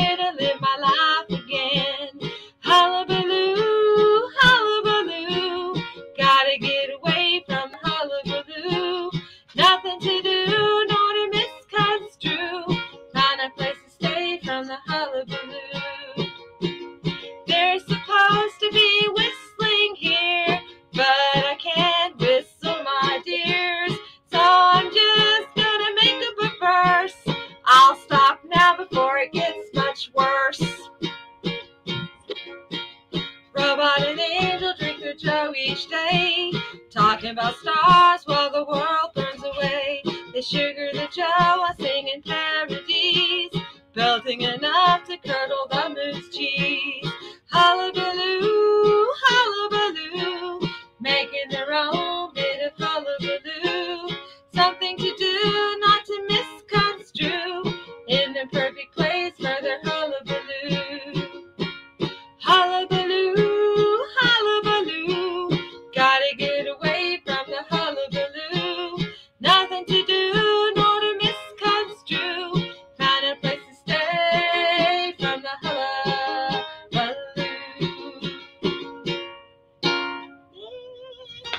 That was interesting. Oh, you didn't like my improv I, interlude? li- I, I liked it. I, I, I don't know. It's like there's songs I like, and there's songs I, you know, there's songs I like, and there's songs I like more, and that's that's all I'm gonna say. You know. So, do either of you know the Spanish language song called La hija de nadie? No. Oh, no, I. But I'd like to. What does that mean? It means the daughter of nobody. Ooh. Yeah. It's sa- nobody's daughter. It sounds itself. interesting. Yeah, well, I really mean, I've got a, I've got a song to that tune. Oh, Ooh. Okay. yeah, but you would have to first of all know the original. I'm sorry. I suck. I'm trying not to suck. I'm not good at it. Are you gonna do it? I can't sing. Neither can I, but I just What bumble you- Do you think you can do recitative like Rex Harrison in My Fair Lady? I don't know. I lie down in the Give garden. it, give it a try. He couldn't carry a tune either. And they wrote tunes for him for that show, and he never sang a one of them because he he just spoke on pitch like this instead of singing because he couldn't sing. And Okay. nobody cared. And he was great. And you probably saw him. Yeah. Uh, uh, but I'm not Rex Harrison. So um, Well, you don't have to be to talk over. I, I could just music. recite, but that's not quite the same. Yeah, Would you like I to hear it? tell you what, if you I really want to hear this. yeah, But Yeah. who Okay. knows? Maybe we Later, you can look up La hija de nadie. It's uh, sung by uh, Yolanda del Rio, and she's really good. And there's a lot of in the middle of it, but which I can't do. Well, I'll look. It, I'll look it up after after the show. I'll look it up. Okay. okay. So oh, there's I- actually YouTube of it. Oh, yeah. oh, you you you're looking at it now. I actually got my phone up. I got my phone charging, so I figured Uh-huh. I'd enter that in like I didn't Nadia. I entered it, and actually there are lyrics online, and there's even YouTube videos online. You know what I mean, sometimes it, it starts. Work Unas copas de vino y venemos por error criminal del destino. Uh, Destined to be a criminal? Is that what you just said? no, no, it, it, it's uh, a cups Una- with wine and poison. and po- for, for uh, an error, a criminal error of faith. No. Yeah, Yeah, but anyway, this, Yeah, of- this is uh, yeah. I want to hear, I want to hear your song. Okay, my song. I lie down in the garden amid grass and fern. My sehlat beside me is lying. Footsteps sound. Oh. Sarek comes, grim and stern. I'm sure he suspects me of crying. They shouted barbarian. They said even worse things. They claimed I'm a Terran and dubbed me an Earthling. Spock, being Vulcan means meeting the test. We demand much of both mind and body. You rebel, but you know that our way is best. You brawl like a deckhand, your schoolwork is shoddy. It's true, oh my father, I started the fight. They say I'm a Terran. Perhaps they are right. For 10 Oh. days in the desert, all nature you'll face to try out your strength and strive to prevail. You are my son, you'll avoid a disgrace. Father, but what if I fail? Children who taunt speak the truth unawares. The flaw is in me, and the fault is not theirs. And now comes the Mm. chorus, which is the, the like the de. I blame none but my father and mother, who in reckless, impassioned embrace, heedless of me, but entranced with each other, mingled green blood with red, race with race. To my conception, they never gave thought. Now they reject the flawed work that they wrought. Sarek is Could I- stoic. Yes. I'm sorry. Could when you're done, could you put the lyrics in Messenger, please? Oh, yes. Yes, I will. Because I'm thinking it would be possible if we, with the lyrics to take your recitation and build it into a tune that would be close enough to your natural speech that you would be very able to do it. Okay. all and I would undertake that That would as soon be as I got the lyrics. actually. That's a really wonderful idea. Yeah. That's you know you can do this a lot with poems. I suspect it's how Leslie Fish wrote some of her Kipling tunes, tunes to Kipling poems. You know, I've So never asked her, but I suspect she. Yes, yes, yes. I wasn't sure it was over, but yes, yes, yes. Sarek is stoic and very demanding. To display of emotion, he sternly objects. Yet I watch as he dotes like a fool on Amanda and muse on the sterling example he sets. Mm. Father, though I long for your esteem, I can't walk in your footsteps. Mine's another dream. Kind, tender, and loving as mother, and she wants her affection returned. But she swore to behave like a Vulcan for father. How much of my love has she earned? I'll be tight lipped and closed to maternal appeal. She who bids me obey must not know that I feel. But someday I'll leave them and never come back. I'm doomed from the day of my birth. Outside to be Vulcan, still more than Surak, and within more human than all those on earth. I seek for the future in vacuum of space to find home and friendship in some foreign place. Oh, if you put that on Messenger, I'll go right in Messenger right That's now. Really wonderful. Okay, because that's really, really, really cool. And I, yeah, and and I think you know, and I think it would actually be easy to take your natural speech rhythms, such as I heard of them, and and literally, in other words, you know, literally sort of reverse engineer it, like basically taking your speech, turning it into recitative while reciting it, and turning that into a song gradually. And I would like to do that But right now. I mean, 'cause I there saw is a tune that it goes to it. It's the Hija. Yeah, so maybe this way it'll have another tune, and maybe that might be easier. You know, no one says a song has to, a lyric has to have. Okay, I'm actually going to going to go. I just want to. I just want to get this up. I okay. I lie down in the garden amid grass and fern. My sehlat beside me is lying. Footsteps sound, Sarek comes grim and stern. I'm sure he suspects me of crying. They shouted barbarian. they said even worse things. They claimed I'm a Terran and dubbed me an Earthling. Spock, being Vulcan means meeting the test.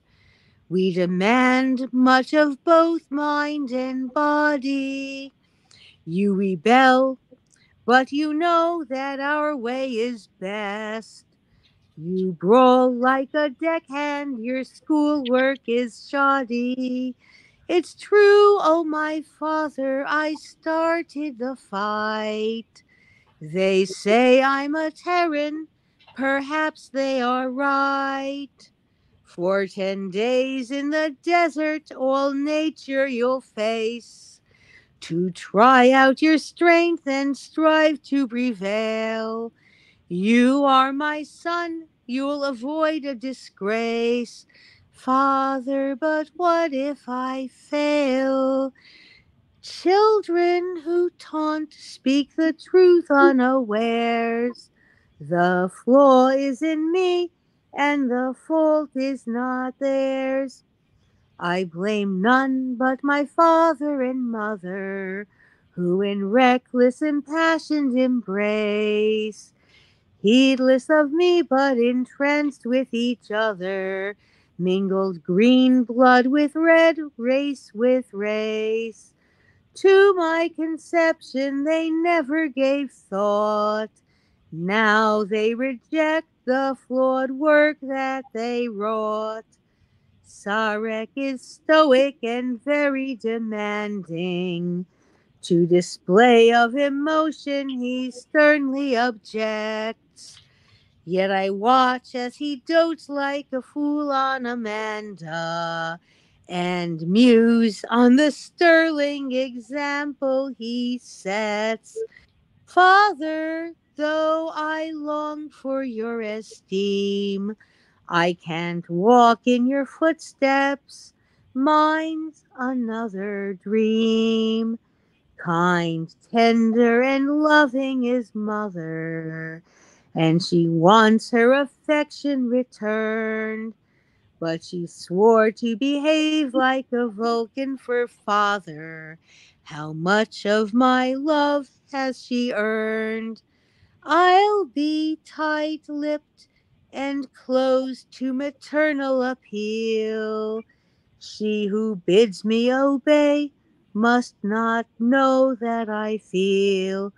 But someday I'll leave them and never come back. I'm doomed from the day of my birth. Outside to be Vulcan, still more than Surak, and within more human than all those on earth. I seek for the future in a vacuum of space to find home and friendship in some foreign place. I blame none but my father and mother who in reckless impassioned embrace, heedless of me but entranced with each other, mingled green blood with red, race with race. To my conception they never gave thought. Now they reject the flawed work that they wrought. Very Will that nice. do? That is that do. something you is that something you could sing? I'm I'm not hopeless. sure about Yeah. that, but I liked hearing it from you. Thank you. Well, if you want to learn it, you can play the tape again and again. I regret that I'm hopeless at writing down musical notation. Well, And I, and I haven't yet heard the source song. I will listen to it probably yeah, I love that song. It's a little bit kitschy, and the way they play it. You know, I mean, it's it's a a lot of Spanish stuff is like this. Tell me, does Tom Lehrer qualify as Filk or not? Yes. Oh gosh, yes. Because this was sort of Spanish themed in that it's as the source song was written in Spanish. You know, he did a parody of a major Hispanic cultural event, the bullfight. You know that. oh Okay, I forget the title of this, but the first line of it will do as a title. When it's fiesta time in Guadalajara. Oh, how I long to be back once again in old Mexico, where the air is pure and there's never a thought of tomorrow. To the strumming of guitars in a hundred crummy bars, I would whisper, Te amo. Mm. The mariachis would serenade, and they'd never stop till they were paid. We ate we drank and we were merry, and we got typhoid and dysentery. but best of all, to this day, I remember the Plaza de Toros. When I'm feeling downhearted or morose, I revive by recalling that scene and the names of the great Matadoras, Dominguín, Belmonte, and Manolete, till I live till a hundred and eighty. I will never forget what they mean, for surely, senores and senoritas, there is nothing more grandiose in all this world than the sight of a lone man single handedly facing a half a ton of angry pot roast.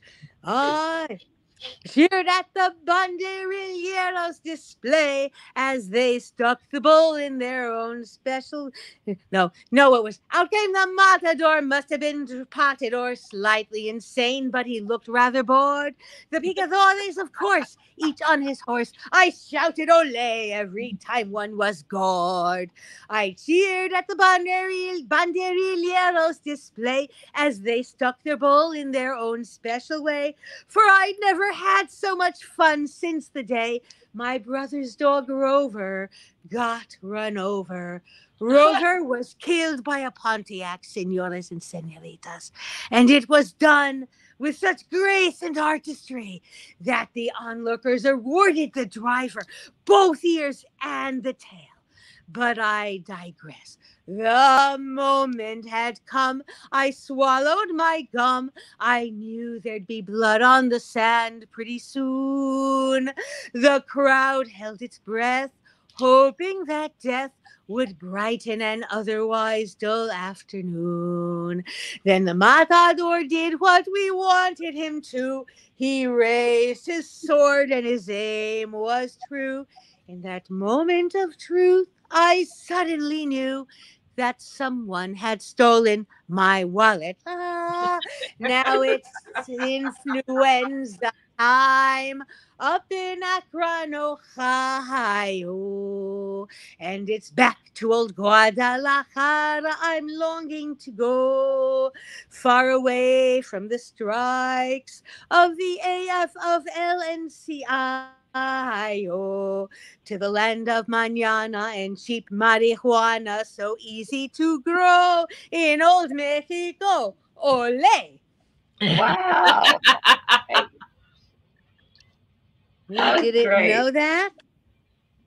That's one of his more famous ones. Admit I improvised a little bit on the lyrics, trying to go for the real, you know, Carmen Miranda effect here. Although I don't know, she was actually Brazilian, but okay.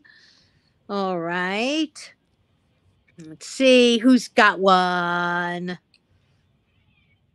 When you Well, post this, you might want to get off the whole first hour, which is like, yeah, or you know. So Katrina, isn't it your turn? Sure. I don't know any. I mean, I have a Tom Lehrer song, but I've never got to where I can play it yet. The uh, Well, see, it might be it might be one I know. You know, I well, we- that's we not don't what I flip to. When I flip to it, I'll let you know. Right now, I'm, I'm great. to Colleen, Okay. which is not Hmm. one I play often. So, yeah, hopefully I can do this one. It's hard. It's it's done to Jolene by Dolly Parton. Oh, okay. Yeah. Mm-hmm. Yep. So. Colleen, Colleen, Colleen,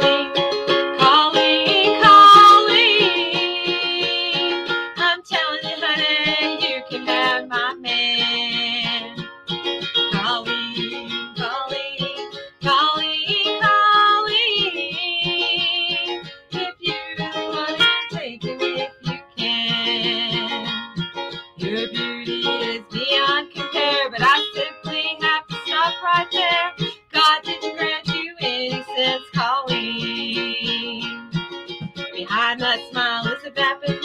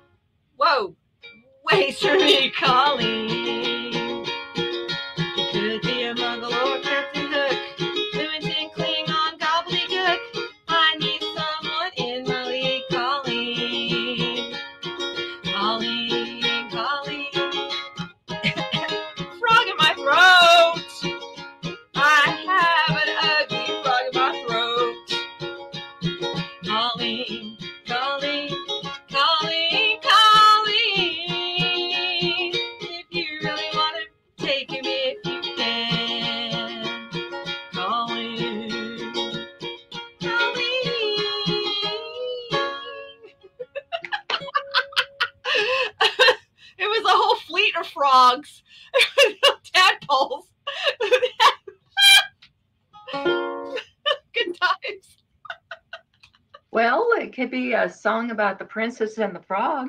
oh, I should write one about that. You know, there's a book, um, children's book that I just love. It's called You Can Go Jump. Oh, and it's the princess and the frog.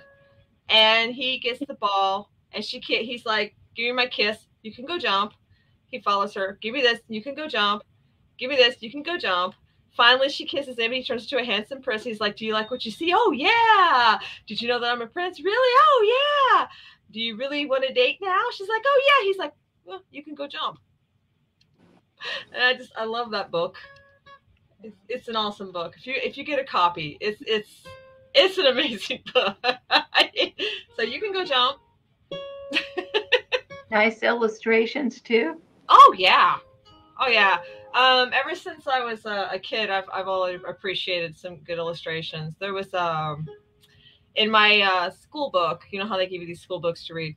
There was Mhm. a uh, Gray Legs. One of the versions of Gray Legs was in it, and the illustrations for it. I still have that book because when they were getting rid of the books, I snatched me one, and I have it to this day just for those illustrations. Yeah. Mhm. And I'll read it once in a while. And I'm gonna I'm gonna do a comic book based off of Gray Legs eventually, but I've got to Oh, finish. I would love to read that. Yeah, it, it'll happen. I mean, I've got most of it plotted out. Um, what I Oh, really like uh, about oh, have you done other comic books? yeah, Oh, she's got a web comic.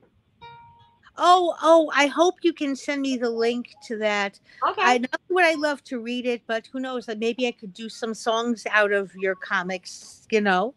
Well, it's uh, at Akashik Online, like the Akashic Records, but with a K. Yeah. AkashikOnline.com. It's not Akashik- hard. Yeah. Um, but Oh, I've also done yeah. The Heavenly Bride, and I have uh, written Black Wolf Silver Fox. I've written another book. Uh, it's Never Romantic to Wash Yeah. the Dishes. I've written. Um, I've I've won a couple of awards. Um, Yeah. Yeah. If you can send me a message, it'll be easier to look at. You 'cause- know, I uh, Yeah. my son contacted me recently. yeah, yeah, Yeah, yeah. Well, I you know, later. Wait, and he says to me, "Well, mom, you're doing some small things. You're, I see. you're Small doing things. little things. You're doing good, mom." see Akashik with a on. Yeah, that must that must be it because I, A K A S H I K online. and- online.com. Um, Hey, you know, I did. Uh, I did actually interview Katrina and Tim, and there's a whole interview about that on my channel. yeah, there is. Well, that's great. You know, I haven't had that much time for, you know, things, uh, you know, things on TV. But you know, I have- I, tell I have been writing Great. since I was 14 years old. I was one of Oh, Mary wow. Bradley's prodigies. Oh, wow. Oh, really? Well, that So, must have been I been mean, real. you know, it's just a lot didn't get out there, you know. Um, and then I got married. Well, yeah, the, the first time I got married. anyway, if you let me, I, I see all these comics up there. You know, if you can send me a message sometime this week and tell me which ones, you know, which ones are yours. You know, I would. I mean, because they look interesting. I didn't know this site was around. You know, it That is looks. one comic. That is one story. I and- oh really? Page, the page, it only updates like maybe every other week. Um, Yeah. if you're a paying person with the Patreon, you get to read in advance. But Well, The- yeah. Well, website is every other week, and uh, I'm quite pleased because there's a character whose name is Yeoman, and I'm finally got to the part in the story where he shows up, and he's hilarious. He's going to be great because, and and and he's a and he's a he's a robot, but he's expressive. So like he just found out his friend's in trouble, and he was doing a cooking Oh. show when it finds out his friend's in trouble, and so. I'm in the panels I have planned where he's getting ready to go save his friend. He's like throwing the spatula. No time for eggs. We have to go get the grenades. We have to get the bombs. I'm just gonna put it. well, his heart is in the right place fun. if the robot has got. Well, yeah. Well, anyway, I would love to see. You know, I'm looking at Akashik, the key to survival. I see there's some kind of game associated with it. Yes, we wrote a game. like, well, looks like there's a heck of a lot. You know, I will probably just get lost trying to navigate through this site. There's just so much there. Just, click the first link and then just hit next from then on. And I'm not Yeah. recommending you I'm, right. I will tell right even now. have trouble finding the first link. Oh, I do see where it says first. Okay, oh, great. Oh, that worried me. now, okay, now I don't know. It's like, what I is that there? Oh God! be reading it for a week or so, but at least this way I've got it, you know, in my history, and I'll know where to go. Comics, I recommend Oglaf, O intriguing. G L A F. Although it's Doity. Mhm, oh, Oglaf is Doity, but it's hilarious. Yeah. I will not tell you the joke. Well, maybe- dirty. Yeah. Send me a note in Messenger with like things you recommend most, and I'll be a little more oriented. You Well, know, I, I used to read a lot of web comics, but now I think I just only read Oglaf, and it's a, I have not read Oh, um, web comics, although I used to read Ape. I used to read Ape Lad. If you ever have read that one, No, you never read this thing called apelad.com.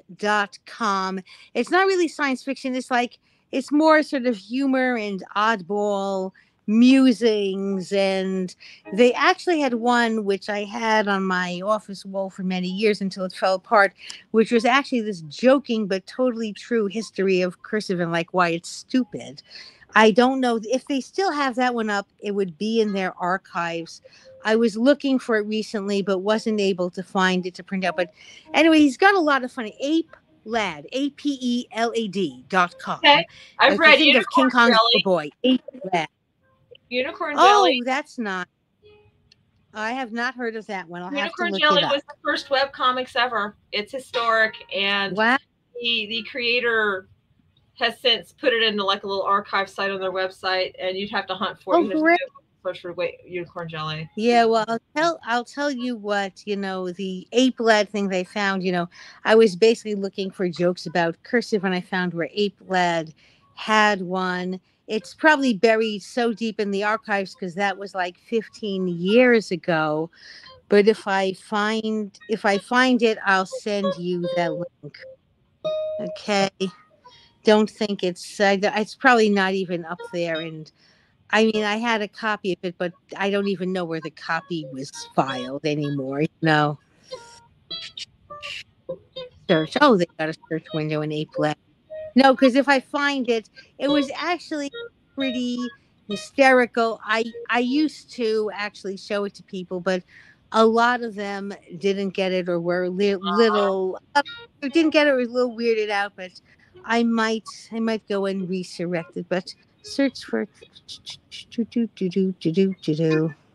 Well, I mean, in my case, uh, I, there's just no time. I've got like a book I just recently bought. I wish I could find time to read. Um, I exactly.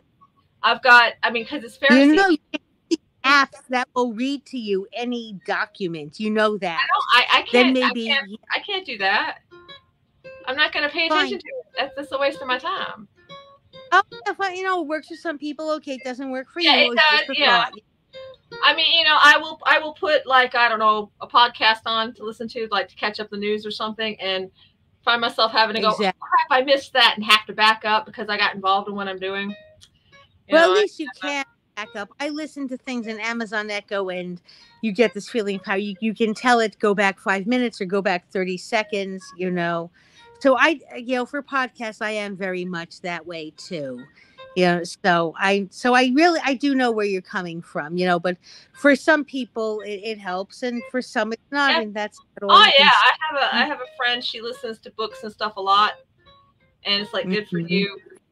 I I don't I I'm not I'm, I'm not jealous, but it's just not for me. You know, I want to be able to focus on the material, and it's just not something I can I can devote a lot of time to right now.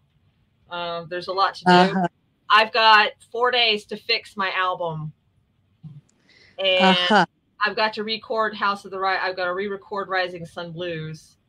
Oh, I, I'd love to hear that. Maybe you could Well, I mean, I guess I can do that one uh, after your turn because you haven't had your turn yet. But uh, I'm not gonna. I, I don't really want to be a full call. Oh, actually, I went through my old email because I realized that I had at one point, you know, emailed that comic to myself, which I do with a lot of things I want to save. And I not only have the link, but I have it's just like, you know, one page of nine little panels, and I'm going to put it into Messenger. It's actually sort of funny, and I may very well print it out again now that I have a better printer and I have lamination stuff so I could laminate it so it should last this time. I think yeah, I think you'll find it's a hoot if you if, you know Okay. because I know we've yeah anyway let's get into Messenger. I'll send you I'll send you the link. I'll send you Okay. the photo and I'll send you the link to it. Okay. And that way you'll have something nice when you you know you'll have something nice when you Yeah, log there are, off. there are Okay. days that I, take for me, and then I catch up on comics. So I'm definitely gonna want the link. I mean, this is just a web comic. I mean, he didn't have a theme. It's like his were always little no, one-off just comics, a like web comic. Yeah. Unicorn Jelly. I mean, I put out one Yeah, of the but it was so good. Okay. Now, I actually, I actually just sent you, uh, you know, I actually just sent you this, and and you know, it should it should come. You should be able to expand it to you know whatever size you want. I mean, I could actually hold it up and you could read it because it's sort of a blast. I don't know if you can read off this thing, but heck. I can see it. You could always take a screenshot and then you wouldn't have to wait. If I turn this, maybe it can get a bigger display. It's okay. Just send me the link. I, I, I'm I can send you the link already, you know. okay. Anyway, it's Yeah, I, I It's- saw it too. pretty good, you know. It actually actually was mostly actually was like the beginning was about cursive and the end was sort of about cursive. It's like basically he was saying like why do we learn this when there's so many more important things we should actually be learning?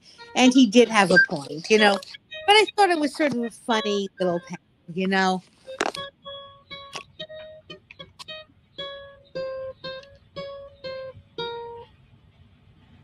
What are you doing? Conducting here while I wait for you to sing, you know. I'm not singing. I'm practicing A B C D. I'm doing the alphabet. Well, it still gets that same too. Okay, it's your turn. I know it is her turn to song. sing. It's her turn to sing, and now I'm going to the little girl's room.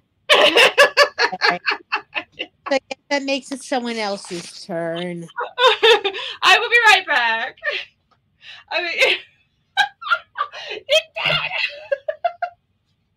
you're gonna see my kitty cat pants. Well, well, well, well, well. I, I think Kate, maybe we'll do just uh, two more songs because it is past midnight. Yeah, just just as well. Okay. Anyway, trying to think if there's don't have anything. I don't re- I don't really have anything great. It's like I don't know. Somehow I thought this night would be great, and just for me, it was mostly, mostly a dud. You know. Anyway, I hope you liked that Tom Lehrer thing. Oh, I did. Yeah. Look at that Great. cat. Can you see the cat where Oh, yes, Katrina very was? Yes. oh, I used to have one that looked a little bit like that. When Come on, Alice, let me have my chair. Alice, it suits her. Yeah, she's a little turd. Mm, No, and that bullfrog that you hear. uh huh. Well, she's a very charming little kitty. I have a soft spot for singing tor- to tortoises and perform cat for you guys. cows. Did sing anything? she's Ow. showing us uh, the most important part of her body. Oh boy. Maybe you can sing her the colorectal surgeon song and see if she I don't okay, know if Katrina, they- I while know you were in the little girls' room, we decided two more songs. One one that you sing and one that Kate sings because uh, If I can it's find a midnight and we might turn into it- Is it midnight? Oh my goodness! Time just flew flew by. Okay, so Well, Katrina, are you ready to really sing? Pass it. I am finding House of the Rising Sun for you guys. Okay, great. Yeah. Although I don't. Just if in case I can't do think it. of anything. What? Well, let's. There's Witnesses Waltz, which is one of my favorite Leslie Fish songs. that's all that good. So you want to do Witnesses Waltz or No, House I, I I found Rising Sun Blues. Okay. Yeah, I'll do Rising Sun Blues, even though I did it as a one song concert recently. So, but yeah, this is the one that uh, I've got to re record it from scratch for the uh, Badly Done album. And once that's done, I'll have something passable for the fair. Because when I went to uh, Mid South Con, um, I just was me and walked out with like four fans. I was like, okay, uh, uh, I'm flattered, and now I'm like, I guess I'll fix stuff and act like I care. Okay. I guess I'll care. I won't disappoint you. Oh, the song I sang was called In Old Mexico. Okay, just so you know. Okay, good to know. I will tell you. In case, yeah. So in case I can't think of anything, I'm actually pulling up Tom Lehrer lyrics. Okay. Poisoning Pigeons in the park's a good one. Well, yeah, or maybe you could do one. You, that's always an interesting one. But maybe you could do one you don't know. There's like hundreds, not hundreds, scores of them. You know. You know what's really nice is that that man. He is such a good soul. He put it all in the public domain, so we don't have to ask his permission. Yeah, that's right. That was very yeah. What a sweetheart. You know, but you can't thank him. He doesn't want to be thanked. He wants to be left alone. But anyway, Uh huh. I'm not surprised. yeah, because I was going to thank him. I know that.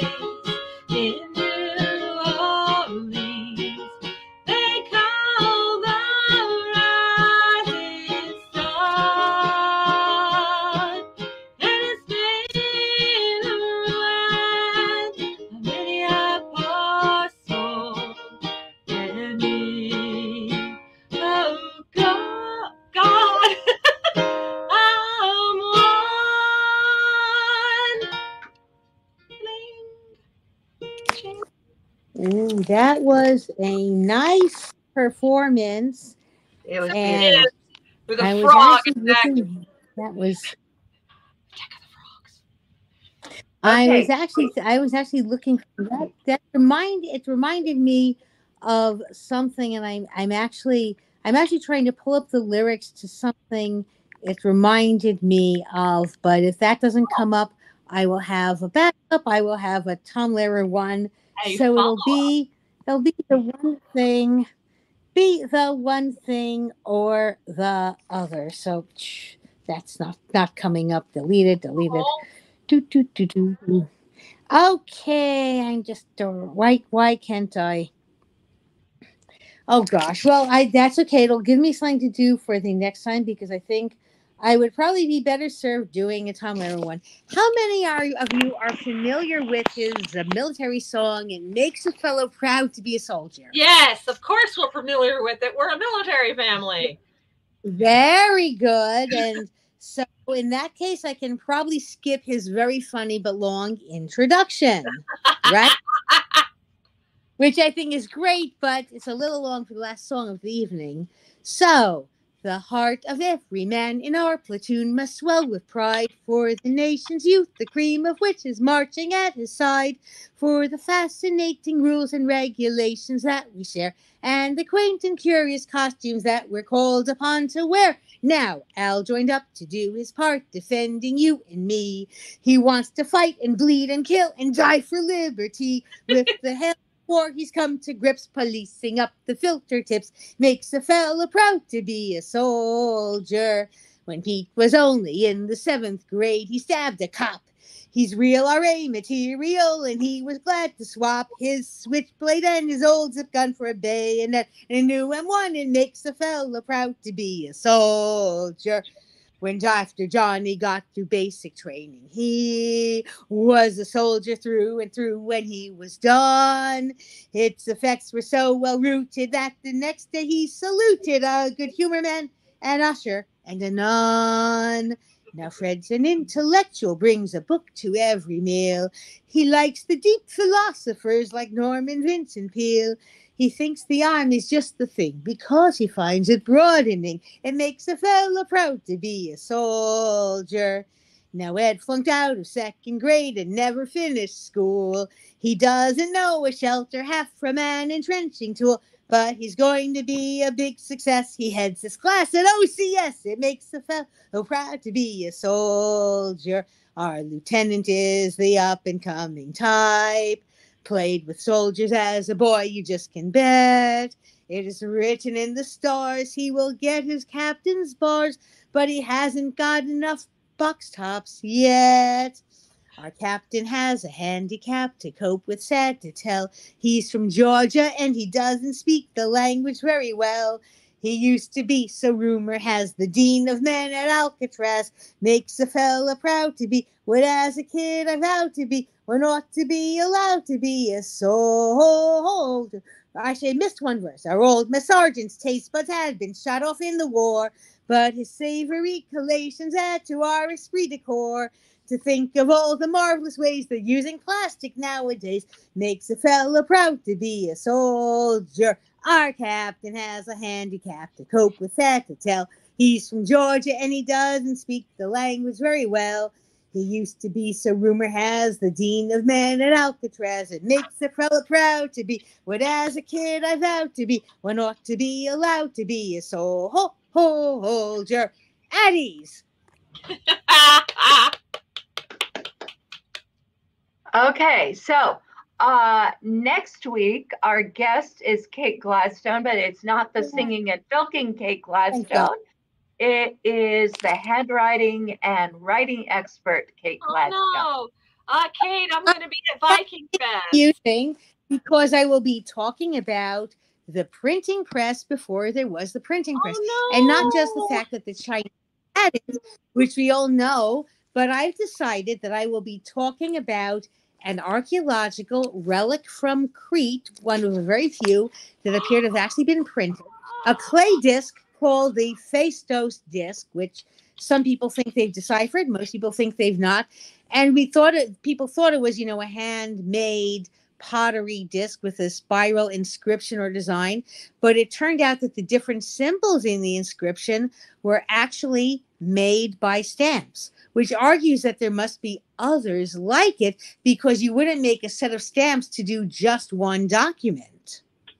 And people didn't even know if it's a document, you know, uh, uh, it could, it's possible it could be a game board, it's possible it could be art. People have tried to decipher it, but they are, you know, but we're not sure if any of the decipherments work you know, most people say the puzzle is still unknown. One or two people think they have a decipherment, but you know, we have to see do more things turn up from the same source, and you know, does the does the code cracking work on them?